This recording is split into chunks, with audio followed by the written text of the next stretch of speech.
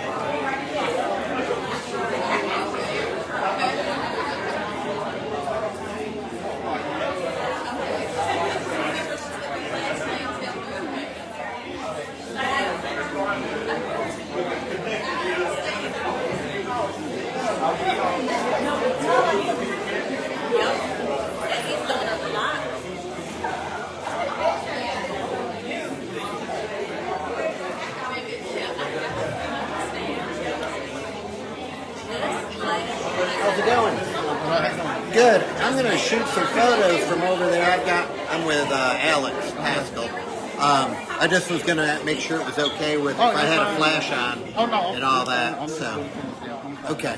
And let me give you my card. He said this would be available. You guys are going to make it available later.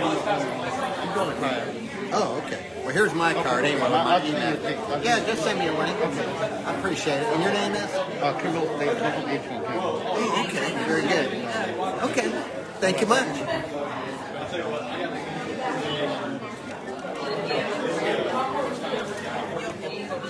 Let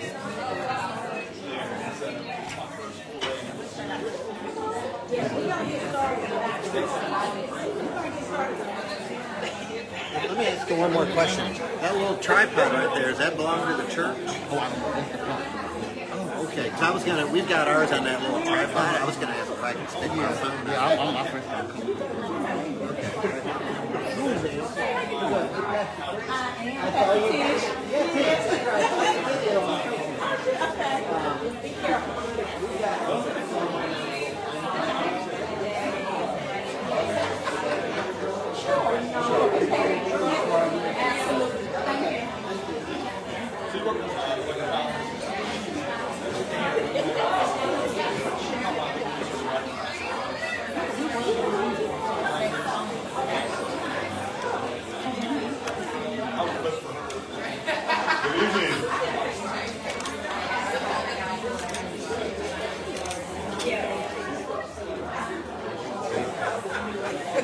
Good evening.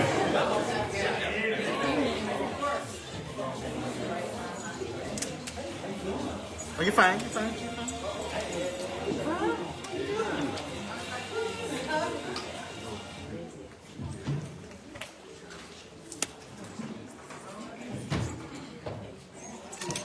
It's so good to be here. Just so grateful that you uh, take it out your busy schedule to come and be amongst us today and all these fine candidates. So we're looking forward to what they have to say and how they're going to continue to move our community forward. I'd like to thank uh, Pastor Letitia Wayne for hosting this candidate forum. My name is Leroy Telfair. I'm the Vice President of the Faith-Based Committee. Our President, Doris Connor, could not be here today, but she sends her regards. So we'll do, do what is assigned to your hand. The faith, the faith-based committee, Pitt County, was established in January 23. And our mission is to work for the transforma- transformation of people, community, faith-based organization,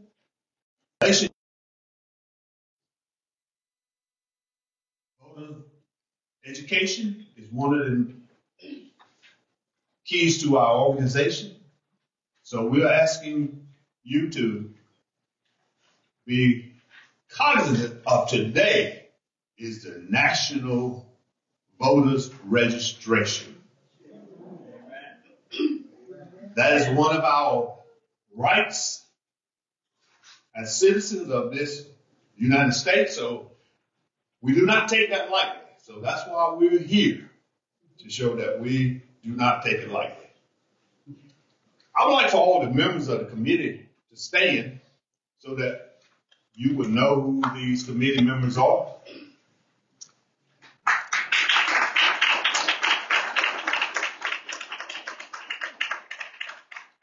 Thank you.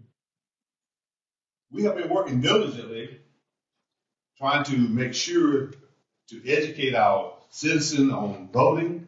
So that's why we're having this forum, so that you can share with the community what your views are, how you can move it forward. So we're looking to hear from you. As we look, as we move forward, and the members of this forum, we're praying that we will have Minister Destiny Hill to come and do our pledge of allegiance.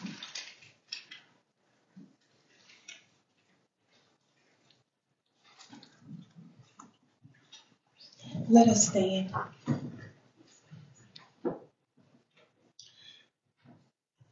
I pledge of allegiance to the flag of the United States of America and to the republic for which it stands, one nation, under God, indivisible, with liberty and justice for all. Thank you, Minister Hill. Pastor Wayne, we'd like you to come in for our invocation. Pastor Wayne. All right, amen. Amen. Thank you for all of you, all of the candidates for being here on this afternoon. Amen. Let us pray. Amen. It's our custom. Let's stand. Let's all stand. Amen. Amen. Let us pray. Father, we thank you, God, for being back in the sanctuary again. Father, we thank you for being back in your presence, God, because it's no matter where we are, what we do. Father, we are always in your presence. Father, we thank you for everyone who is here. We thank you for this candidate voting forum on tonight. And Father, we just thank you for, for the faith-based committee. We thank you for each and every candidate that is here. And Father, we thank you because we know that you know all things, you see all things. And God, we know that you got this election under control. So Father, we stand in anticipation and waiting, God, for everything that we've been praying to manifest before us. Father, we thank you for the faith and the hope, God, that we have, Father, in you because we know, God, that you are going to make all things well. Father, we thank you, God, for every candidate who is here. And Father, I pray your anointing and your blessings over their life. I pray health and peace over their lives in the name of Jesus. I pray, God, that you will give them the energy, God, and the stamina, God. Give them what they need, God, to win, God, whatever um, seat they are up against. Father, we just thank you for every every question that's going to be asked tonight. Father, we say, God, send your Shekinah glory in the room. Father, we thank you, God, and we know, God, that you are here, Father, and we just give your name the praise still, and we give your name the glory because you are the God of the heavens, and you see all things and you know all things. Father, we thank you for what's getting ready to be said through lips of clay today. And Father, we just thank you. We honor your name, God. In Jesus' name we do pray. Amen and amen. Amen. Thank you, Pastor.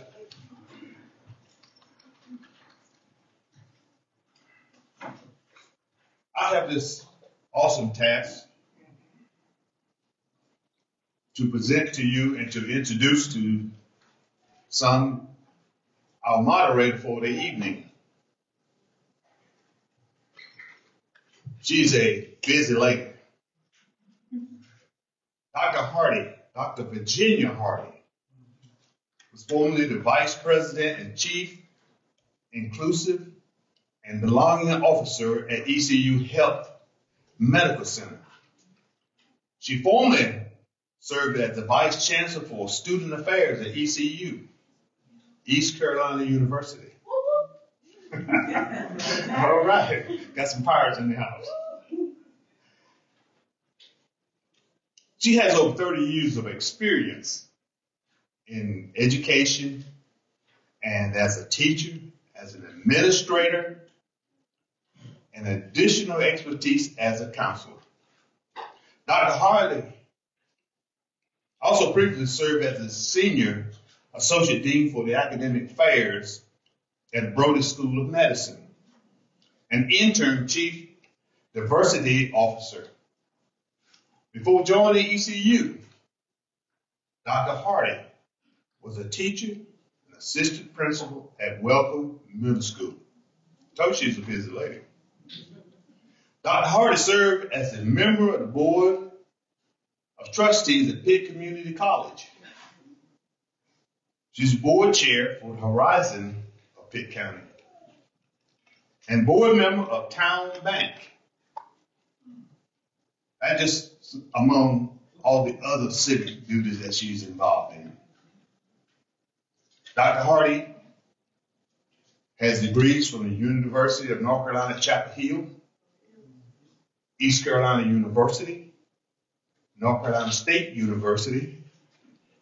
And she credited all of this to her parents, her siblings, for their undying support, their encouraging, empowering, because they were there when she was on that dirt road down in St. Peter.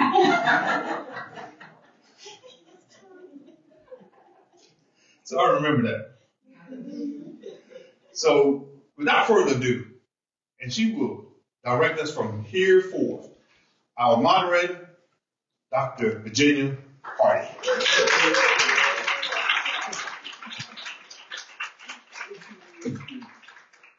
All right, thank you. You can tell there. And uh, thank you all for being here this evening. Let me get myself organized. Uh, Let me go ahead and set, there's some rules of engagement, but one of the rules of engagement for me is I will be using this fan as I need to. And there will be no judgment. Okay? Thank you. I have embraced that. I used to be ashamed, I used to be embarrassed, but I have embraced that. It is okay. All right. And um, so we're going to get started um, with um, some conversations. Come on in. Representative Smith, come on in. You got a spot just for you.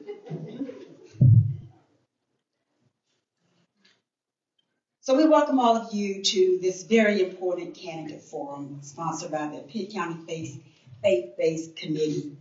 Um, we are excited and we thank you to the committee members for putting this important conversation together. We're here with our candidates who are running for local and statewide offices. Each of you eager to share your visions, your ideas, and so your solutions on the issues that matter most to our community. Now, as citizens, we have a responsibility to participate in the democratic process, and forums like this are a critical part of that process.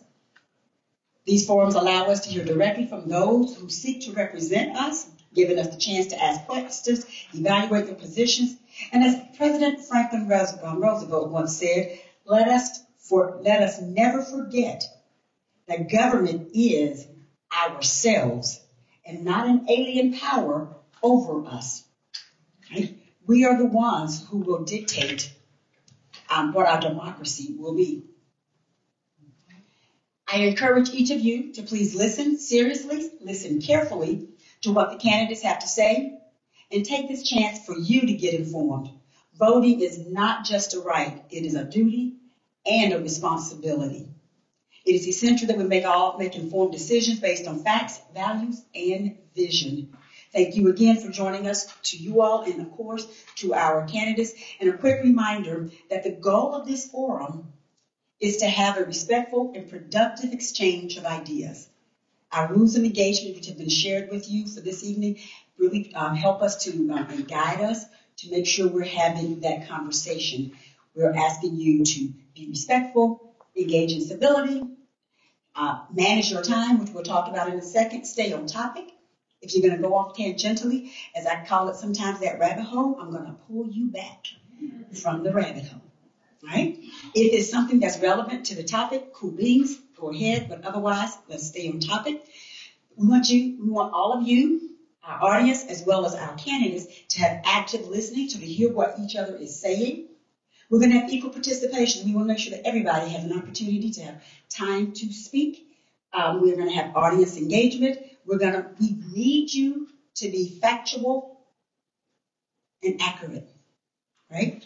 Now, unfortunately, we don't have anybody back here to fact check you, unless it's just made majorly egregious, right? Then we're going to have to let you know. And then we're going to give you an opportunity to have conclu- concluding remarks and understand. And then some of you are wondering uh, if I sound like or look like someone. Yes, that is my sister, Wardell. And so uh, my older sister, as she likes to say, because I'm the youngest, and she says, um, you know, birth order matters. So whatever. But because, but in this place right now, as the moderator, I have authority.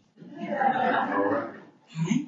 And so I will be moderating, and, and when need be, um, helping to move the conversation along. So what we're going to do is we're going to give each candidate two, one to two minutes to introduce yourself very briefly. You don't have to go into your, your platform because we're going to ask those questions. But briefly, um, just um, introduce yourself. And then we're going to ask you questions. You will have two minutes to respond to the questions. If there's some relevant follow-up questions, we'll do those. And then at the end, we're going to have one minute where you can do closing remarks. All right? And um, and um, see, we will have someone somewhere right here. Thank you. Who will hold up the cards, if you would please, to let you know when you have two minutes remaining on your five. And I'm sorry, you will have 90 seconds for your response. Did I get that right? That's right. You have 90 seconds. You gotta be concise. That's just like, what? They really?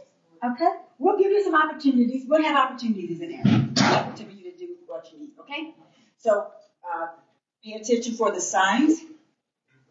We're going to also ask everyone to please um, either mute your phone or to vibrate or turn off your phone. Um, you'll see me looking at mine periodically, but that's also because I'm trying to um, make sure that I am following my directives and keeping us um, on time. Okay? Everybody ready? Okay. Well, we're going to get started. So we have um, representatives um, here. So we're going to start, um, instead of starting on this front row, which is what we normally would do, we're going to start on the back. And Justin, I think it is, right? Justin, we're going to, if you would, introduce yourself, please. If there's a microphone, just, you know, we're going to. Each row has a microphone. Oh, each, each row has a microphone, Dasha, so there should be one. Yep.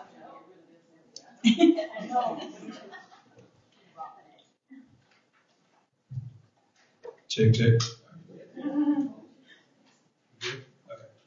Hello, everybody. I hope everybody's doing well tonight. Um, thank you, Amazing Grace, for hosting this and um, getting us all together.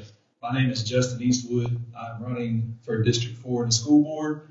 Um, I'm 36 years old. I've been a part of District 4 my whole life. Uh, I was born and raised in Farmville, graduate of Sam D. Bundy, uh, Farmville Middle, Farmville Central. My kids go there. I have four kids there. Actually, one just graduated. She just started college, so my life has been turned upside down. Um, but I still have three in the District 4 schools, and and that's why I'm doing this. Uh, I feel like the past couple years, parents have had, I don't want to say a deaf ear in District 4, um, but I feel that way myself because I've, I've had some of those conversations. So in my mind, it's time for parents to have somebody who actually listens to them and takes it to the board that way. Personally, I don't think you can go wrong voting for me on Ms. Desha in District 4. I think either way, it's going to be a positive influence compared to what it has been. So there's that. Uh, basically, my biggest thing is I want teachers to have somebody to listen to them so we can keep t- teachers in our school. I want kids to have somebody listen to them so we can keep the kids in public schools instead of everybody going homeschool. Um, but other than that, I'm just a I'm just a local blue collar worker. I'm new to all this. I'm not a politician. My first time talking in front of people like this. Uh, but that's me. Um, I'm wide open. If you got any questions, feel free to ask. Like I said, I appreciate y'all hosting this, and I'm glad we're all here. Thank you, Justin. Job well done for your first time. All right. Um, thank you to the Faith Based Committee. Thank you, Pastor Wayne, for letting us here and um, enjoying this fellowship together. My name's Erin Kessel, and I'm running for District 6. That is the Ayden and Grifton area. It also includes D.H. Conley. Um, I was a Pitt County school teacher for 12 years. I taught in the elementary school as well as the middle school. Um, I worked through being a fourth grade teacher all the way up to a multi-classroom teacher where I mentor teachers. And then I took a role at ECU where now I am an instructor in the College of Education and I work with our pre-service teachers, so our next generation of teachers, um, and I take them out into the schools. I give them the opportunity to do their practice out there, and it is great because I get to pick Pitt County schools and get to take them and prove how amazing our schools really are, so that we can keep our next generation of teachers. Um, recruit and retain is a big philosophy of Pitt County schools, and that is one of our goals. My husband is a high school science teacher at Ayden Grifton, as well as a girls basketball coach out there. Um, he lives and breathes Charger pride out there, and he will probably stay in those four walls his entire life. Um, he is just happy as a clam. I have two children in Pitt County schools. I have a kindergartner as well as a sixth grader.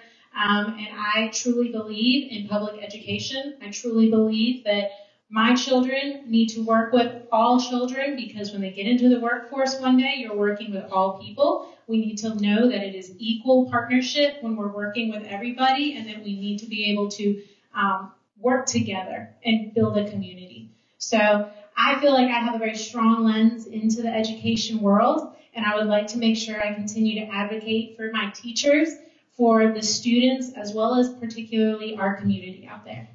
Thank you. Thank you, Erin.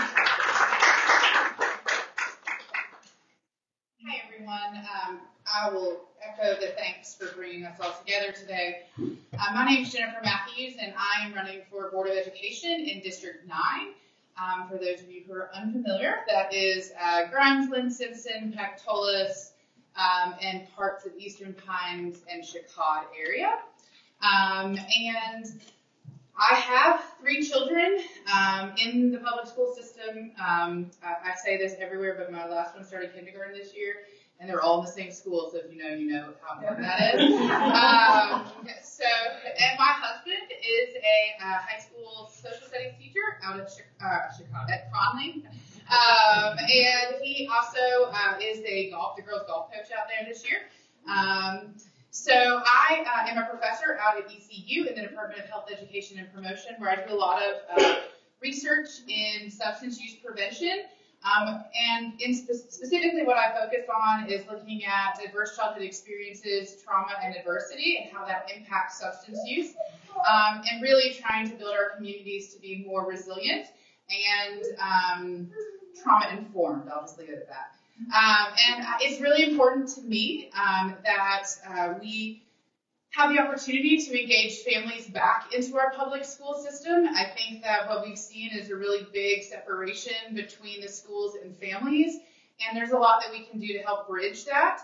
Um, I'm also not a politician. I am really just a mom um, who's just trying to make things better for my kids as they start on their public health or on their uh, public education journey.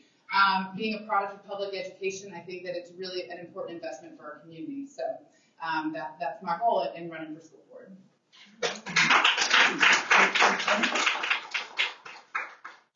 Good evening, and um, I appreciate the invitation tonight and this forum um, and your engagement in politics. Uh, all of you coming out tonight, so that's amazing. Uh, my name is Amanda Klein. I am running for Pitt County School Board in District 8. That includes C.M. Eppes, Wahl-Coates, Eastern Elementary, and Innovation Early College High School.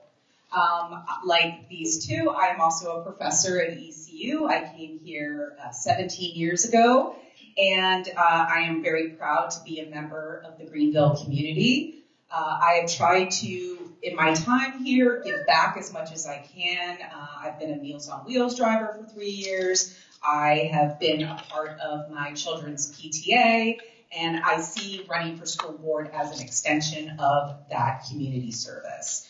Um, I also have two children who, um, well, one is now out, like yours. She's she's at Chapel Hill, so woo. Um, and my my son uh, just started at Rose, but he was in EPS last year. Um, if and when I am elected, I am running unopposed, but uh, when I am elected uh, to school board, uh, my top priority will be uh, teacher recruitment and retention. Um, we do have a crisis in staffing right now, and um, I have a lot of ideas for how to do that. But I think a big one is showing our public school teachers how important they are and treating them as the professionals that they are, um, and getting them salaries that are commensurate with honestly just a um, a normal way of living because right now it's it's pretty untenable. So um, again, thank you for having me, and I'll I'll end early. So there you go. So it looks like the, um, Mary's coming, it looks like the back two rows are the school board folks. Okay, we're all just congregated together, I love it. Go ahead, Dr. Swinker. Good evening, and- and thank you for having us here. Uh, My name's Marian Swinker, and I'm running for Pitt County Soil and Water Conservation District Board of Supervisors. I've been a resident of Pitt County for 30 years, and for the last 22 have lived out in the country west of Winterville. Um, my background, I'm trained as a physician, retired from Brody School of Medicine. Uh, my specialty was occupational and environmental medicine. Uh, so I know a fair amount about the environment and how it impacts health and, and life. Um, I also have experience dealing with federal and state agencies. Um, I've served as Commissioner for Public Health in West Virginia for several years. I was on the uh, North Carolina Public Health Commission for eight years. Uh, I've had to interface with inspectors from federal and state agencies in my job at ECU, which was administrative and overseeing some of the health and safety programs for the employees. Uh, I also understand about grants and how money flows from the feds to the states to the counties and the need for oversight and control of, of those monies. Um, my heart belongs to nature and the environment. I really care about the environment and believe that we need to use our natural resources to live, but that we need to use those resources wisely so they support us and so they support future generations. Thank you. Thank you, Dr. Super. Um,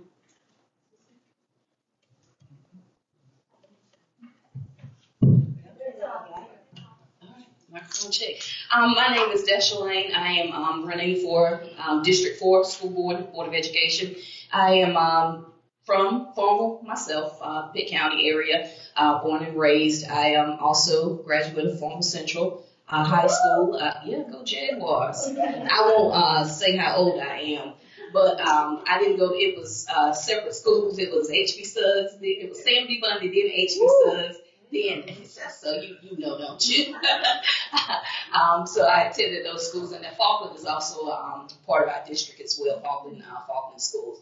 Um, I am I have one daughter who also attended um, Pitt County schools. I wanted her to be a Jaguar, but she refused because she is a graduate of J.H. Rose High School.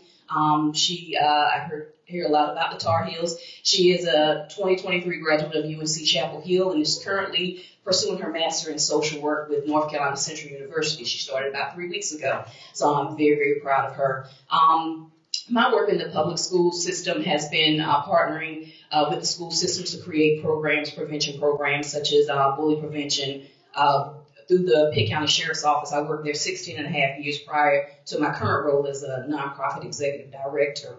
But I was able to implement um, gun accident prevention programs and things of that nature. A lot of my um, experience has been working with um, ju- juveniles considered at risk.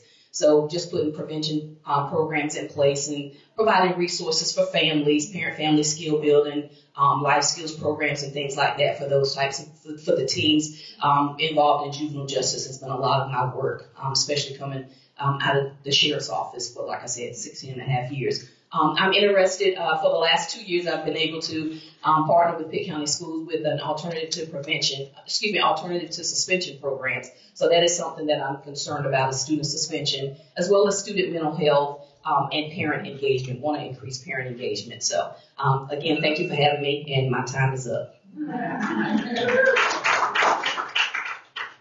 Good evening.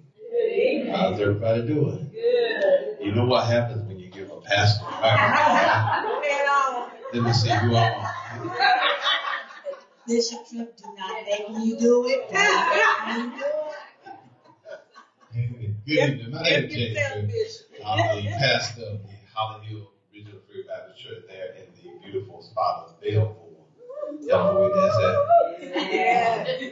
I'm running for re-election on Board of Education. I serve District 3, which consists of six schools north of the river. And my goal has continued to be to, to get the best teachers we can for our students and to also to get parent engagement and school security is one of my priorities.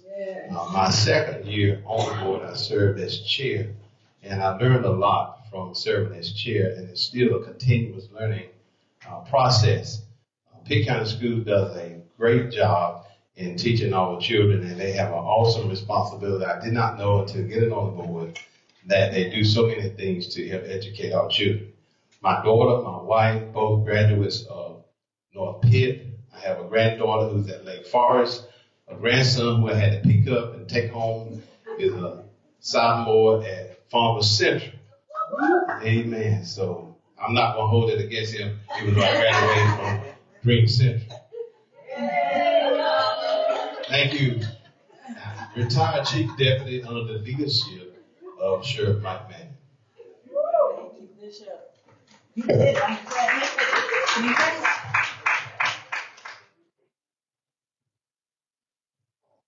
Go there? Yes, sir. I just want y'all to know there's a lot of body heat up here.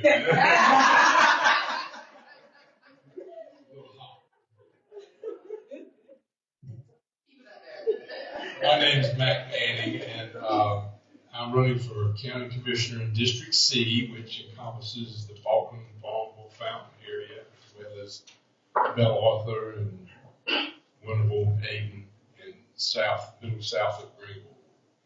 Um, I came to Pitt County uh, in 1980, 1978 as a student at East Carolina University. And as my last semester, I was required to do a field placement. And East Carolina placed me at the Pitt County Sheriff's Office. And uh, it took them 30 years to run me away.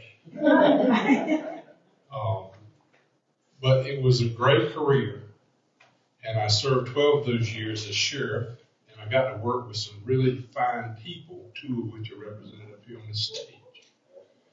And uh, people talk about, they say, well, you did a good job, or you were a great sheriff. I said, no, I had people that made me look good. You know that?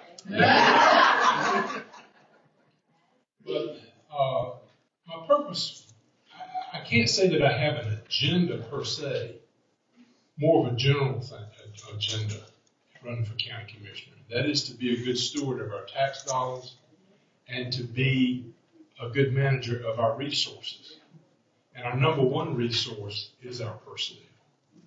And those are the people that when I was sheriff, that I was constantly fighting for to get them to pay and the benefits that I thought they deserved.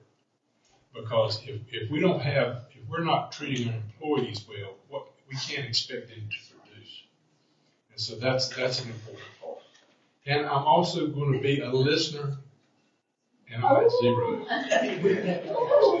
Bishop, Bishop. I know, Bishop. Thank y'all. The high sheriff. Thank you, thank you. Bob? Hi, my name is Bob, Bob Edwards. I'm happy to be here tonight, and thanks for the chance to let us all come and get better acquainted. Um, was mentioned that uh, you know, if you give a pastor a microphone, same could be said for retired college professors. It's, it's, it's terrifyingly easy after 30 years of that to talk for 50 or 75 minutes about whatever, but I won't do that to you. Um, I was born and raised in California, on, on the central coast of California, um, into a family of public school teachers for the most part. Um, I went through and graduated from the community college in my hometown. And then, to make a very long story short, I moved to Chicago to continue my education in, with the intention of pursuing a career in the ministry. To shorten the story, let's just say that that didn't work out in, the- in the long run. Um, I ended up meeting my wife Terry there as a student, and we moved to Washington, D.C., where I um, had a lot of jobs that I probably couldn't even convince my own mom were had enough in common to be a first career. I worked as a community organizer for an organization in Arlington, Virginia, much like the Green Lamp organization here. I worked for the county housing office. I was a carpenter. Uh, you'd probably not believe it, but I was actually for a while a bicycle courier. And then finally, in my 30s, went back to graduate school and started a career at ECU at 37. And I've been there was there for 29 years and retired in July. So I'm, we've lived here all this time. Our kids went K through NC State, through NC Pub, through North Carolina Public Schools. And I'm running um, to get back to the community we've chosen to stay in and to work to improve the quality of life for all people in Pitt County, in all parts of Pitt County. Thank you. Thank you. Thank you,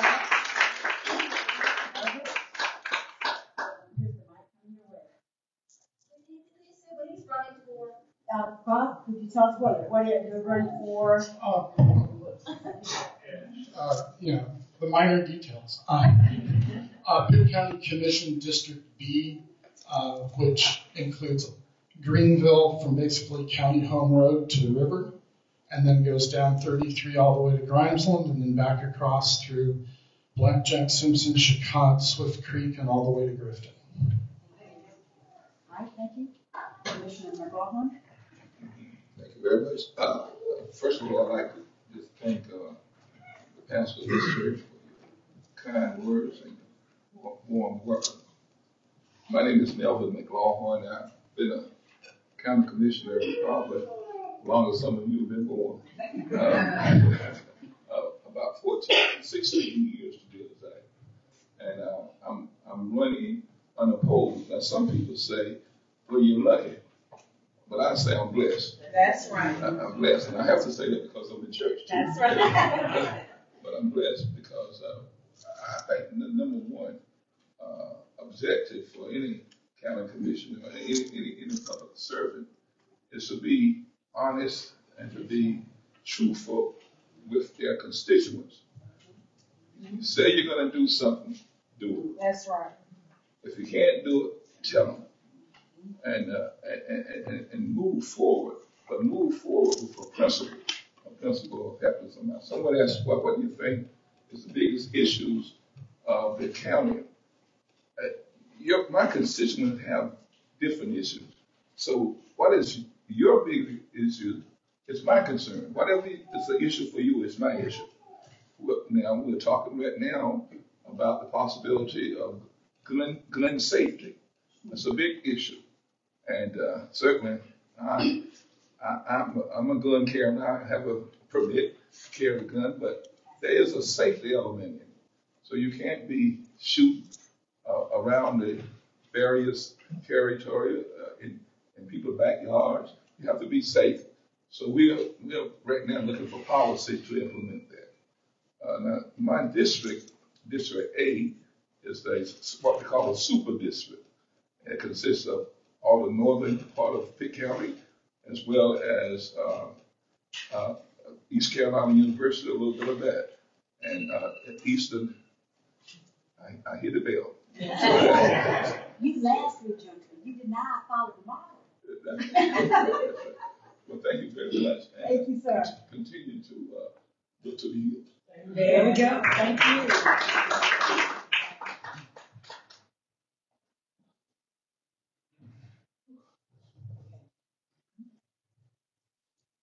Hello, everybody. Hello. Okay.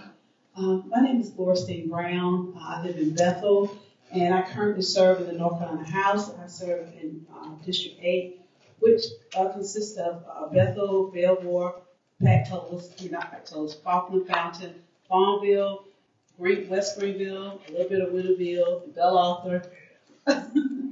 Uh, but I have, uh, this is my first term in the House. I was currently the mayor in Bethel, and I have been in politics all, altogether. If you look at it, about 25 years. I started in 99 as a town commissioner. Um, I am married. I have two adult children, three grandchildren. Um, and so I, my, as I t- always tell everybody, I, I became, I don't consider myself, it depends on what your definition is for politician. Because I, you know, I, I, I'm just a servant. I'm here to serve and here to see the needs and the things that are needed within my district, within my county. And I started out being nosy uh, back in '99 and got elected, and still been running ever since, and trying and serving on different, capacities of boards and all. But I tell you one thing: I tell people up in Raleigh that it is like drinking water out of a fire hose. It's a lot different. The play is a lot different but that's okay. I'm here to learn. I want to continue to ask God to keep me humble, and I'm going to do what I need to do in order to serve the people that God had put me in place to serve. And I've got to say thank you to the to the shepherd of this house. Thank you and for the committee for everyone that having us here on this evening. And just to let you know, if you see me tiptoe, I'm not being disrespectful. I'm not feeling that well, but I'm gonna do my best to hang in there. Thank you.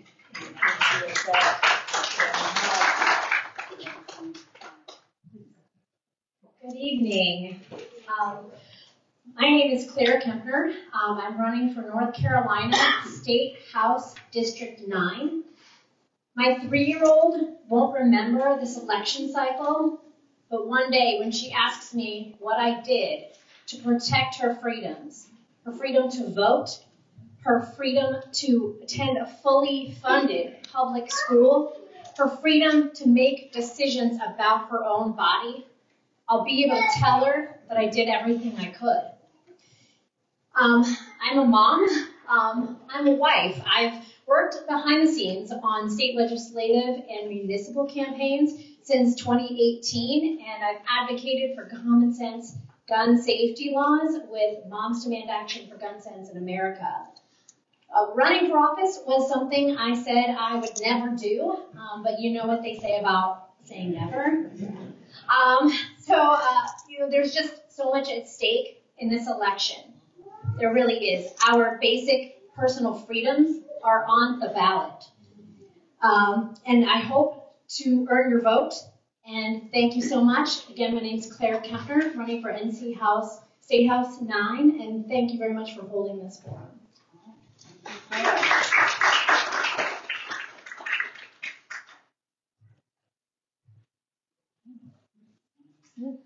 Good afternoon. Thank you so much for holding this forum. I think it's important to make sure that people are educated and not just expect people to vote without knowing who's running to represent.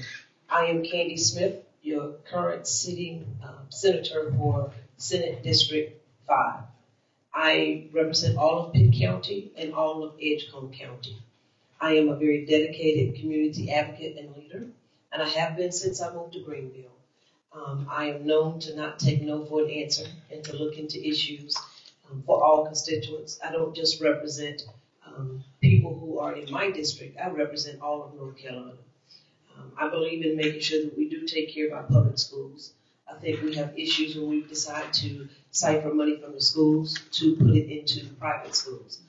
If it was all over 100 counties, it would be probably not as bad if we were getting money from Leandro but most people don't know that this money is only going to 10 counties.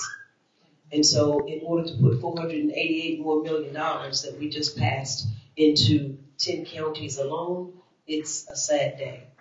But we can't give up and we must continue to fight. Um, in order to, when I think about someone trying to tell me what I can do with my body, and all those young ladies who are coming behind me, that is an issue because it's between them, their God, and their doctor and it's not for the government to be in their business. Uh, when I hear the regressive laws of trying to peel back the ability for you and I to vote, that is an issue. So I do what I can to serve the community. I am transparent, I am open, I'm accessible, and I believe in putting people first. People don't care how much you know until they know how much you care. And so I am here to serve uh, for my second term in the Senate, and it is an honor to be here to share my qualifications and abilities with you today. Thank you so much. Good evening. I am Carolyn Thompson, and I have the honor and pleasure of serving you on the North Carolina Court of Appeals. It is, in fact, the second highest court that we have in the state. It's right under the Supreme Court.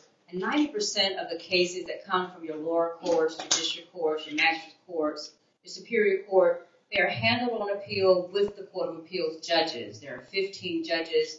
We sit in panels of three. And I can tell you that since my appointment by the governor in September of last year, I've already authored over 60 opinions.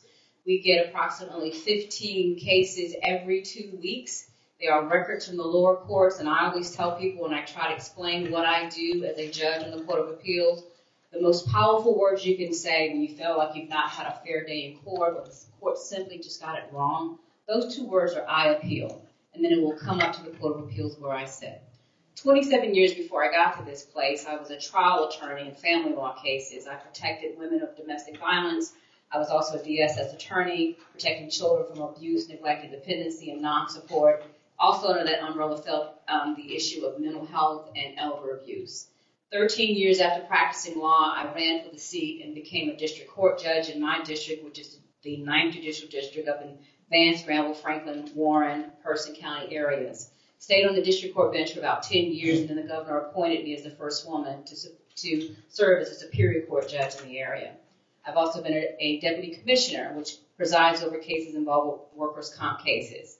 And so on the Court of Appeals, I am, I am offering to the community the fact that I'm already doing the work, I'm already there doing the hard work. I am the only candidate for C12 with actual judicial and trial experience. We've got too many serious issues coming to the Court of Appeals, as you've seen in the last couple of weeks, where the Court of Appeals made some significant rulings that impact the entire state, and you can't be um, coming in with a learning curve. I'm asking you for your support going forward. And now that I know I have 15 seconds left, let me let you just, oh, she said zero. I will. just like that.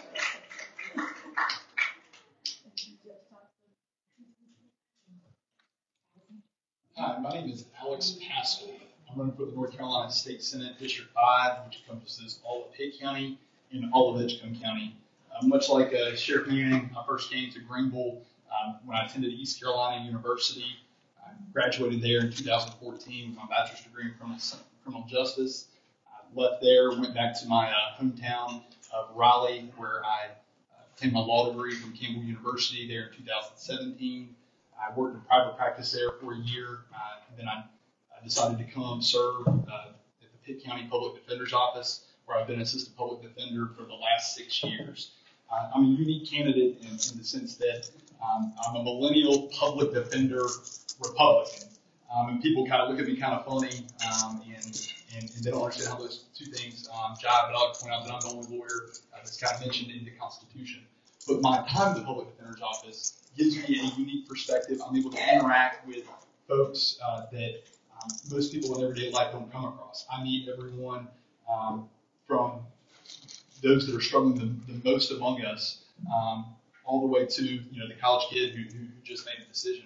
But in my time there, I've been able to see um, some profound issues that have persistently gone unaddressed in the General um, particularly with mental health care. Our, our jails have become de facto um, mental health care facilities. And in fact, sometimes I had a client uh, had a client here uh, recently where they took him out of the mental health facility uh, for breaking a computer and prosecuted him criminally and sent him to the Pitt County Jail.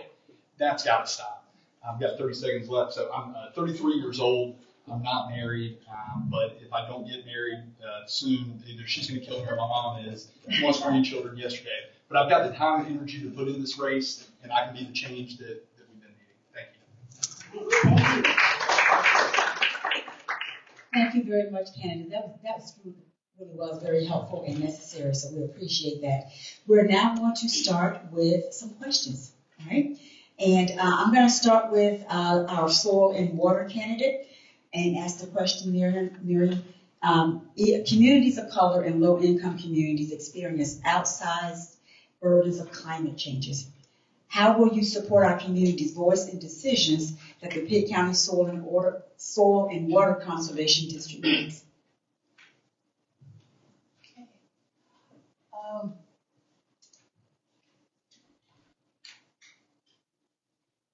well, definitely as far as climate change, communities of color are affected more often by the adverse effects of things like flooding, um, heat waves, uh, wildfires, putting smoke in the air and such. The, um, the role of the Soil and Water Commission is to try to mitigate flooding by uh, wise use of farming practices, by appropriate placement of ditches and other drainage situations, also by um, preserving wetlands, which are really important to soak up floodwater, to slow its flow towards, towards rivers and streams, and also um, to clean up waterways so there aren't blockages that are gonna back up into people's yards and houses and, and septic systems. From my understanding of what the board does, anybody can consult, consult with them if they have a problem, and they will come out and, and give technical advice about the best way to address some of these problems. And I'm surprised at all the people I talked to who have used the Soil and Water Commission because it's one of those agencies you don't hear much about. They don't get a lot of press, but I believe that we are open to hear from anyone who has a concern and that it, it should be addressed, looked into. Thank you. All right, thank, thank you very much, Dr. Swinker. We're going to move now to our two candidates for the um, for General Assembly. And um, one of our questions um, is, and um, Senator Smith, you started answering this, so um, I'm going to start with uh, with Alex here. What is your stance on school vouchers? So I guess I'm a product of public schools myself. K all the way through East Carolina, first private school I ever went to um, was Campbell uh, for law school. Um, I don't particularly care how the kids get educated. I just want them educated. I'm perfectly willing to accept that there's not a one size fits all solution uh, for for everyone. I certainly am sympathetic to if you are a low income parent and you want to send your kid to private school, you shouldn't be deprived of private school education just because you're poor. However, I don't think that we should be uh, subsidizing uh, C-suite executives, uh, private school kids' tuition with public dollars. Um, you know, we've had 500 million um, that uh, was just allocated in the General Assembly. I believe uh, the state senate took that up um, on Monday. I just don't think that was the wisest use of taxpayer dollars. I mean, we're the Believe uh, number 10 in the country in worst teacher pay. I think there was uh, over uh, was it uh, 6,000 public school um, vacancies. Uh, 60,000 students went the first day um, without a teacher on the first day school. We have 3,000 teacher uh, vacancies, and one in nine teachers left the public school system last year. That is a crisis. It's an absolute crisis. Um, and while I don't oppose necessarily some voucher funds for super low income kids, that was not the wisest use of taxpayer dollars. We've got to fix our public school systems. People are running from them, and we've got to fix it. Thank you. Thank you, Alex. Now we're going to go to Senator um, Smith.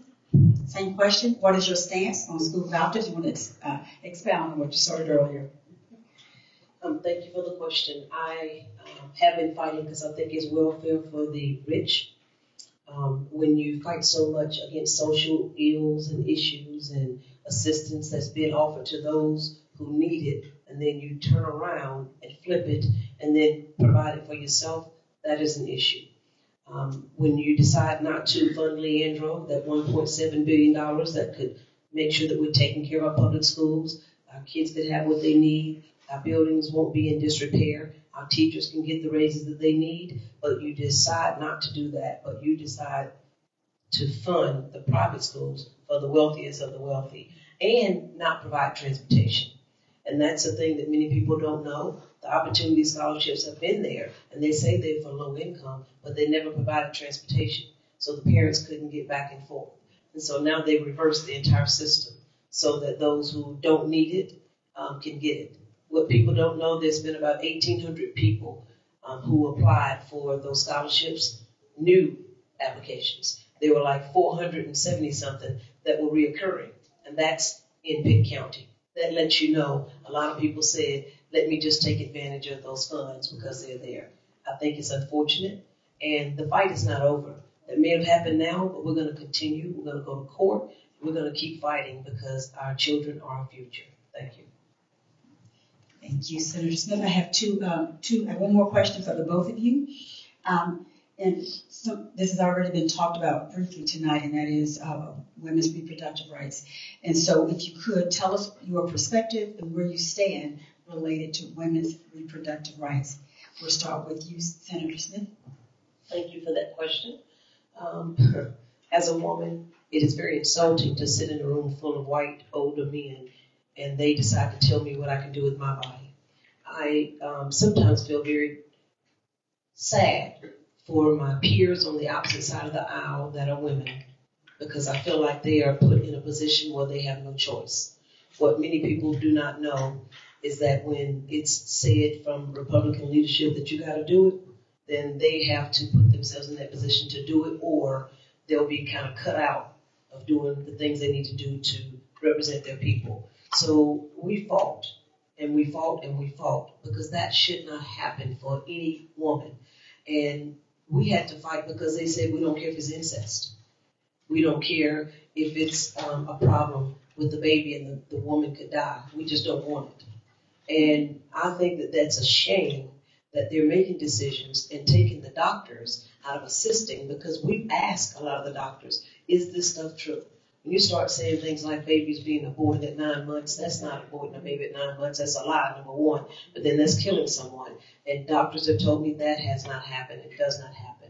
So we're going to continue to fight because to have a precedent that was there for 50 years to be overturned, that lets you know that once you stack your side, then you decide now we're going to flip the dominoes over just because of power and not because of caring. And so I think it's an issue. Thank you. All right, thank you. I'm going to go to uh, Claire for the same question. Your stance on women's reproductive rights.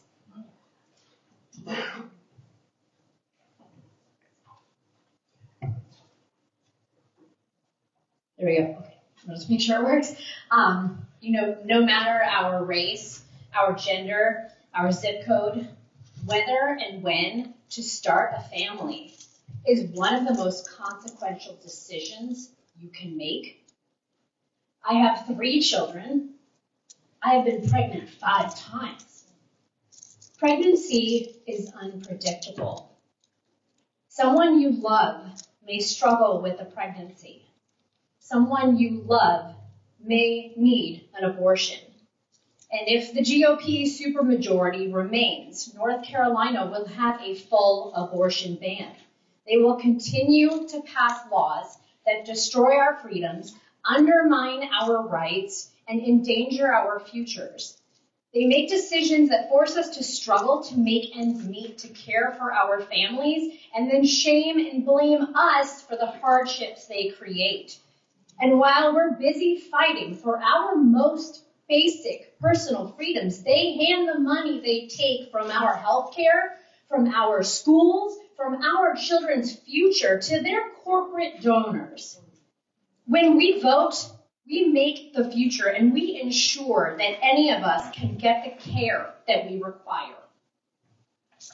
Thank you, Claire. We're going to move now, yes, um, to Representative um, Brown. some nerve. They got a nerve. When I went to my doctor, I, I as she said, I, I have two children, but I had two miscarriages. When I went to the doctor, I, did, I saw a seat in there for myself, my doctor, my husband. I didn't see one in there for the politician. They can't tell me what to do. They can't tell us what to do.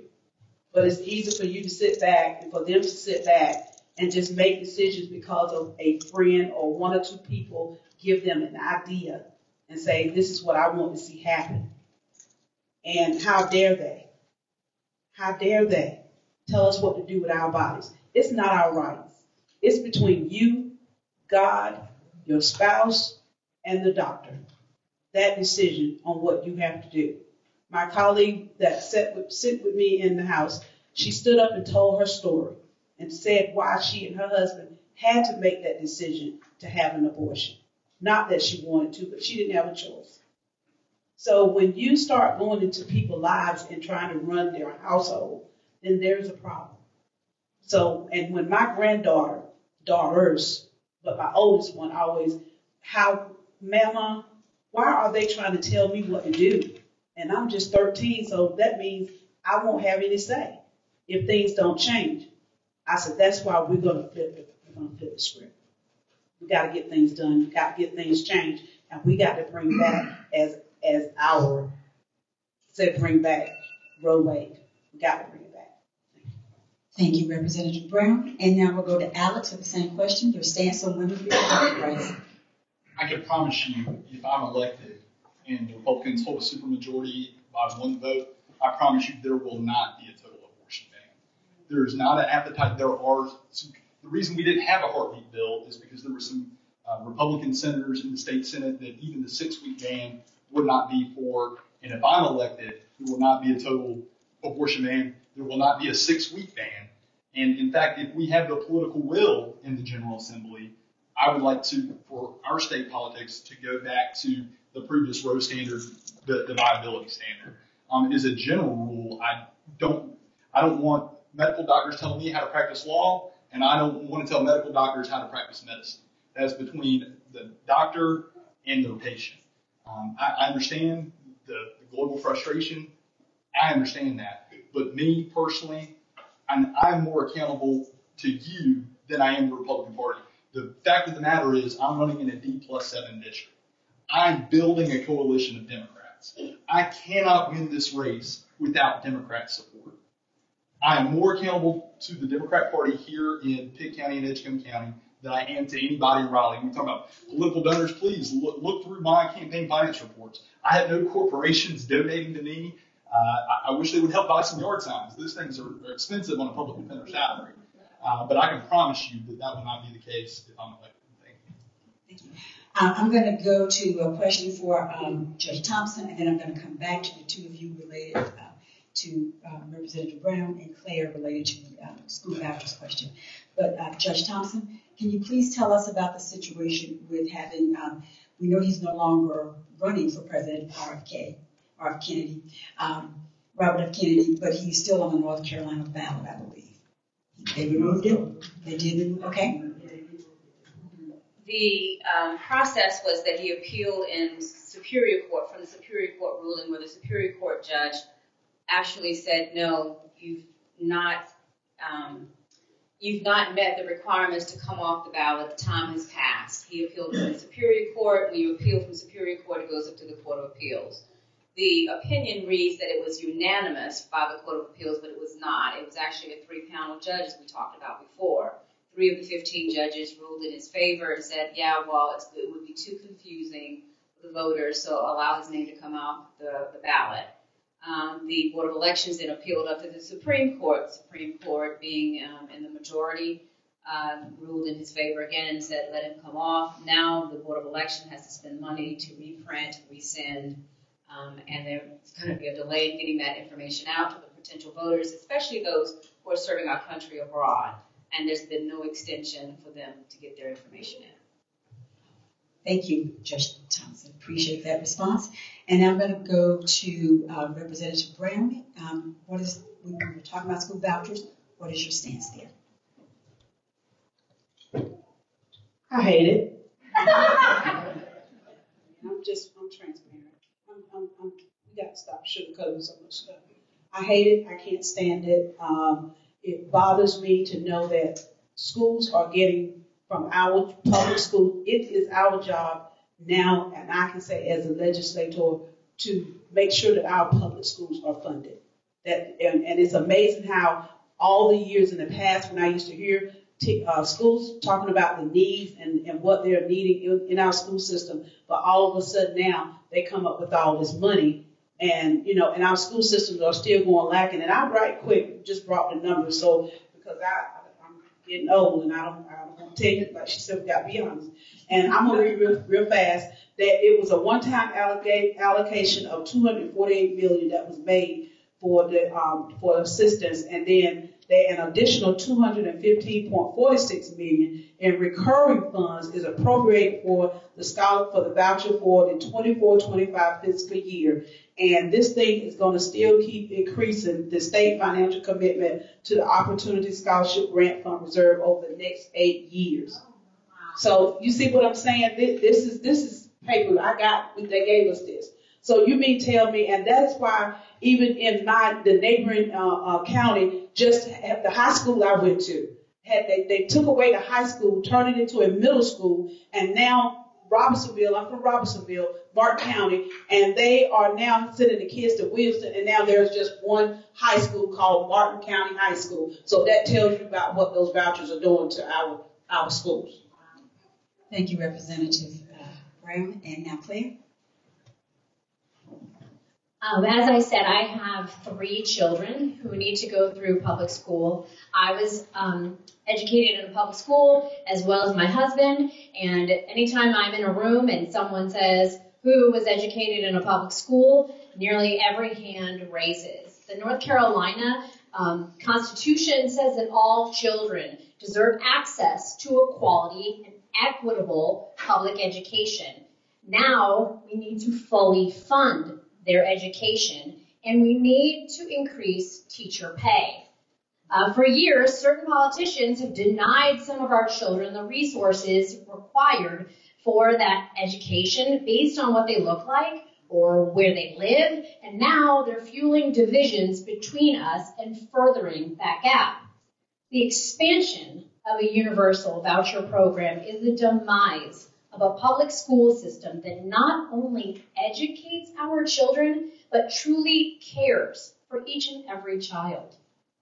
As a legislator, I will vote against money being spent siphoned from our public schools and given to private education until all of our public schools have 100% of the needs met.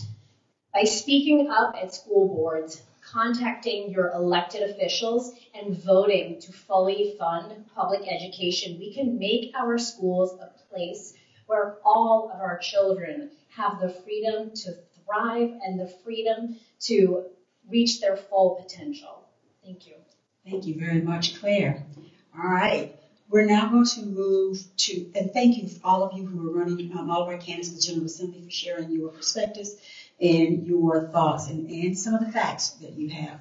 Greatly appreciate that. We're now going to move to um, our Board of Education. We're going to split this in half. We're going to do three, there are six of you, we're going to do three of you, then we're going to move to our county commissions, and then come back to our Board of Ed candidates. So um, the first question, um, starting with our sitting board member, uh, Bishop Tripp. What experience do you have, sitting board member, that uniquely qualifies you to serve on the Pitt County Board of Education?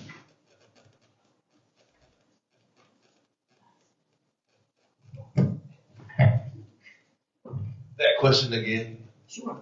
What, excuse me, what experience do you have that uniquely qualifies you to serve on the Pitt County Board of Education?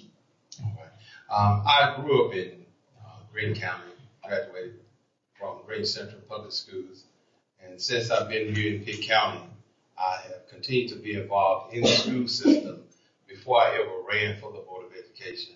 It wasn't until the late Mary Williams, who was unable to continue to serve, that I got involved in running for the Board of Education. But I would always work with through the sheriff's office, through the police department, working with our school systems to make sure that our children are in school. We started a program with the sheriff's office. We had a truancy officer who made sure that we were finding children that were not going to school.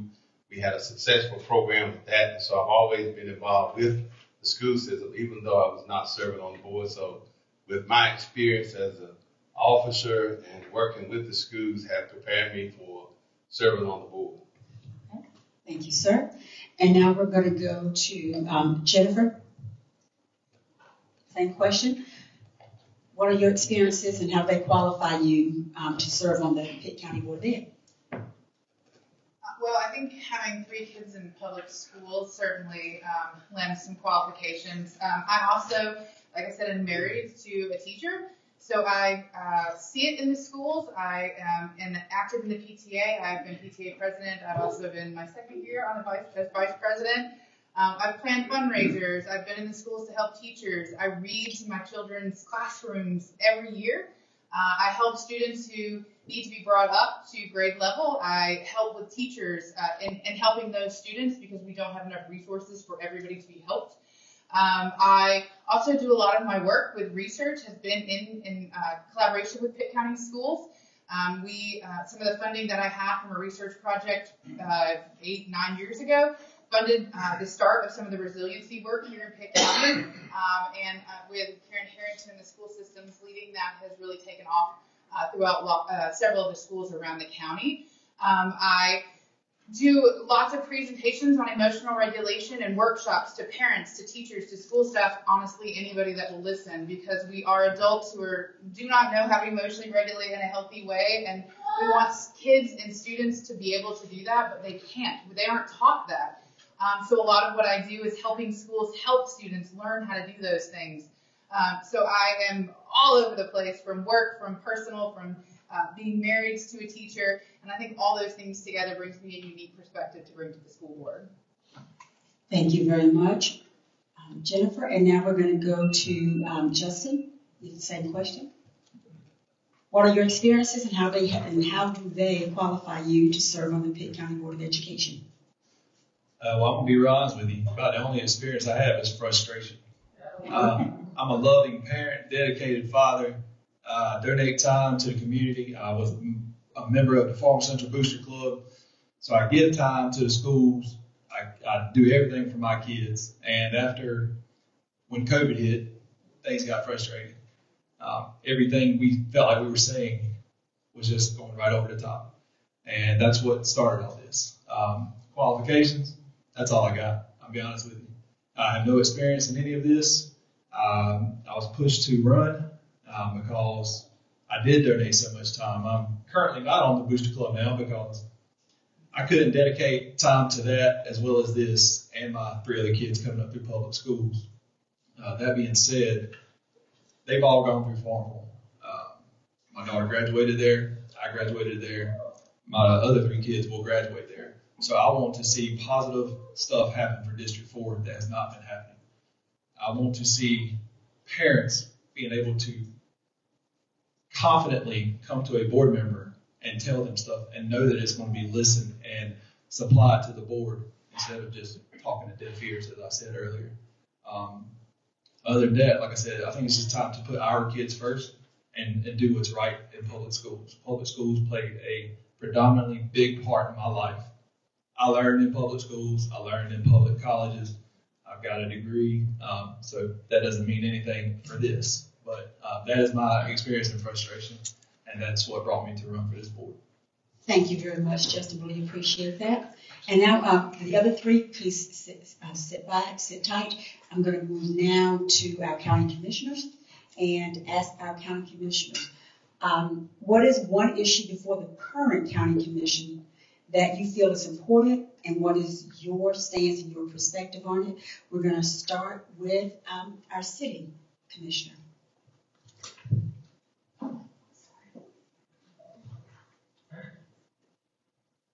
Well, I mentioned to you earlier uh, about one current issue uh, we're talking about gun control. Someone mentioned that earlier as well. You know, it's a common sense approach to me uh, when you have people uh, firing their weapon indiscriminately across the county with no respect of the neighbor. Well, that's the issue. That's, that bothers me. And so we are dealing with that now. And matter of fact, just at the last board meeting, uh, I proposed to the commissioner, to the, to, to the manager, county manager, to go back and, and research how we can come up with a uh, recommendation uh, that will deal with this dilemma uh, and to make it safe for all of our county residents. And, and, and this is very crucial, very dear to me because uh, I used to be a firearm instructor. I understand uh, the danger if you're using a firearm inappropriately, what would happen? I mean, people pointing guns at you and uh, Bishop Phil can relate to this. I was uh, my training was that you don't never pull a gun out unless you're planning to use it. So we have to we have to be cognizant of the safe practice of, uh, of firearms. Thank you very much, Commissioner McLawhorn. And now let's go to um, Mr. Manning, Mac Manning.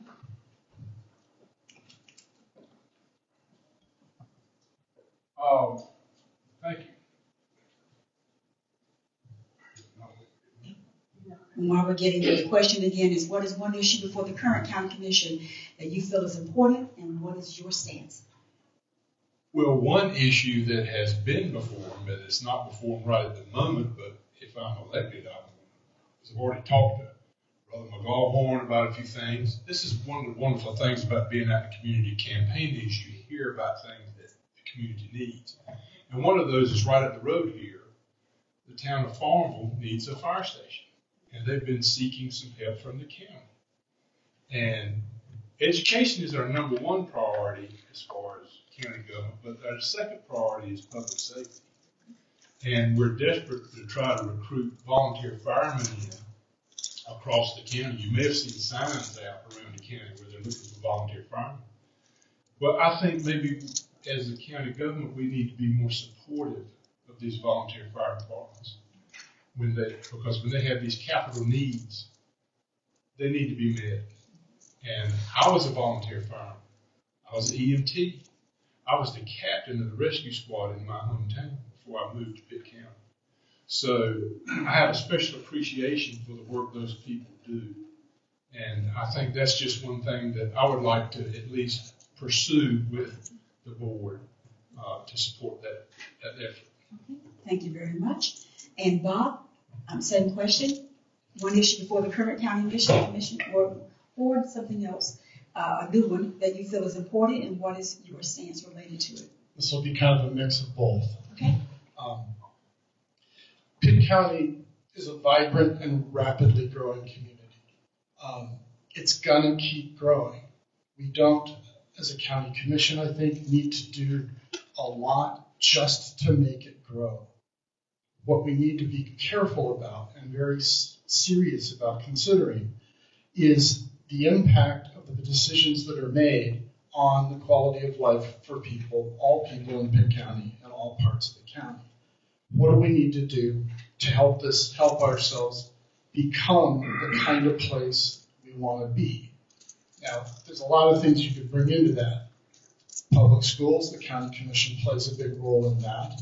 But this longer term view or vision of assessing the proposals that come before the county and thinking about how is that actually going to affect different groups of people in the county, different parts of the county, what impact is it to have, is something that I think is a constant and current issue with the county.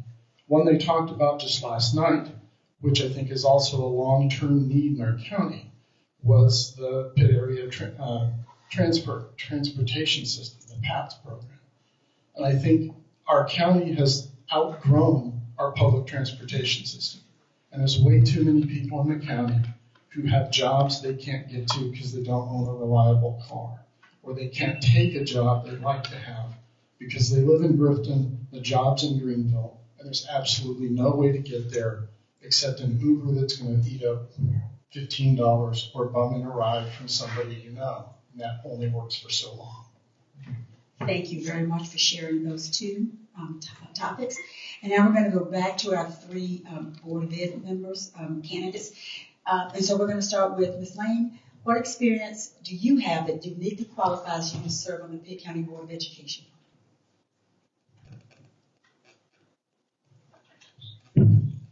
Um, as I mentioned, um, I worked, uh, like I said, 16 and a half years in, with the Pitt County Sheriff's Office.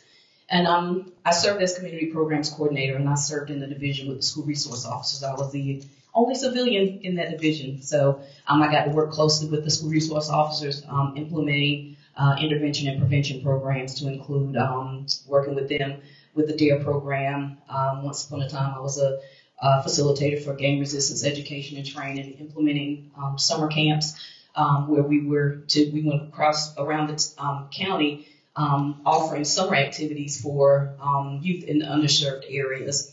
Um, partnered as a mediator. I've done mediations. Uh, there were a lot of times when there were group, different groups that were couldn't get along. Um, so partnered with the mediation center and um, would go into the schools and provide mediation to try to um, resolve the conflict between these groups. Um, also, uh, I mentioned earlier uh, bully prevention.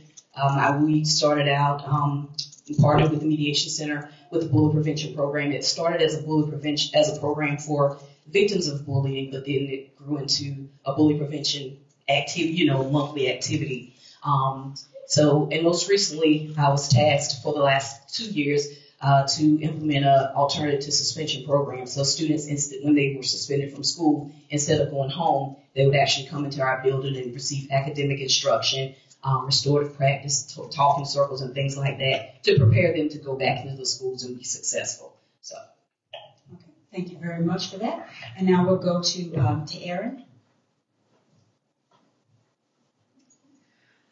So, as I said, uh, I was a Pitt County school teacher for 12 years. I, I truly believe that the professional that I am today was because of Pitt County schools. The training and the time that they invested in me as a teacher allowed me to have the position that I now have today. And I'm grateful and thankful every day that I was given that opportunity to be with Pitt County schools.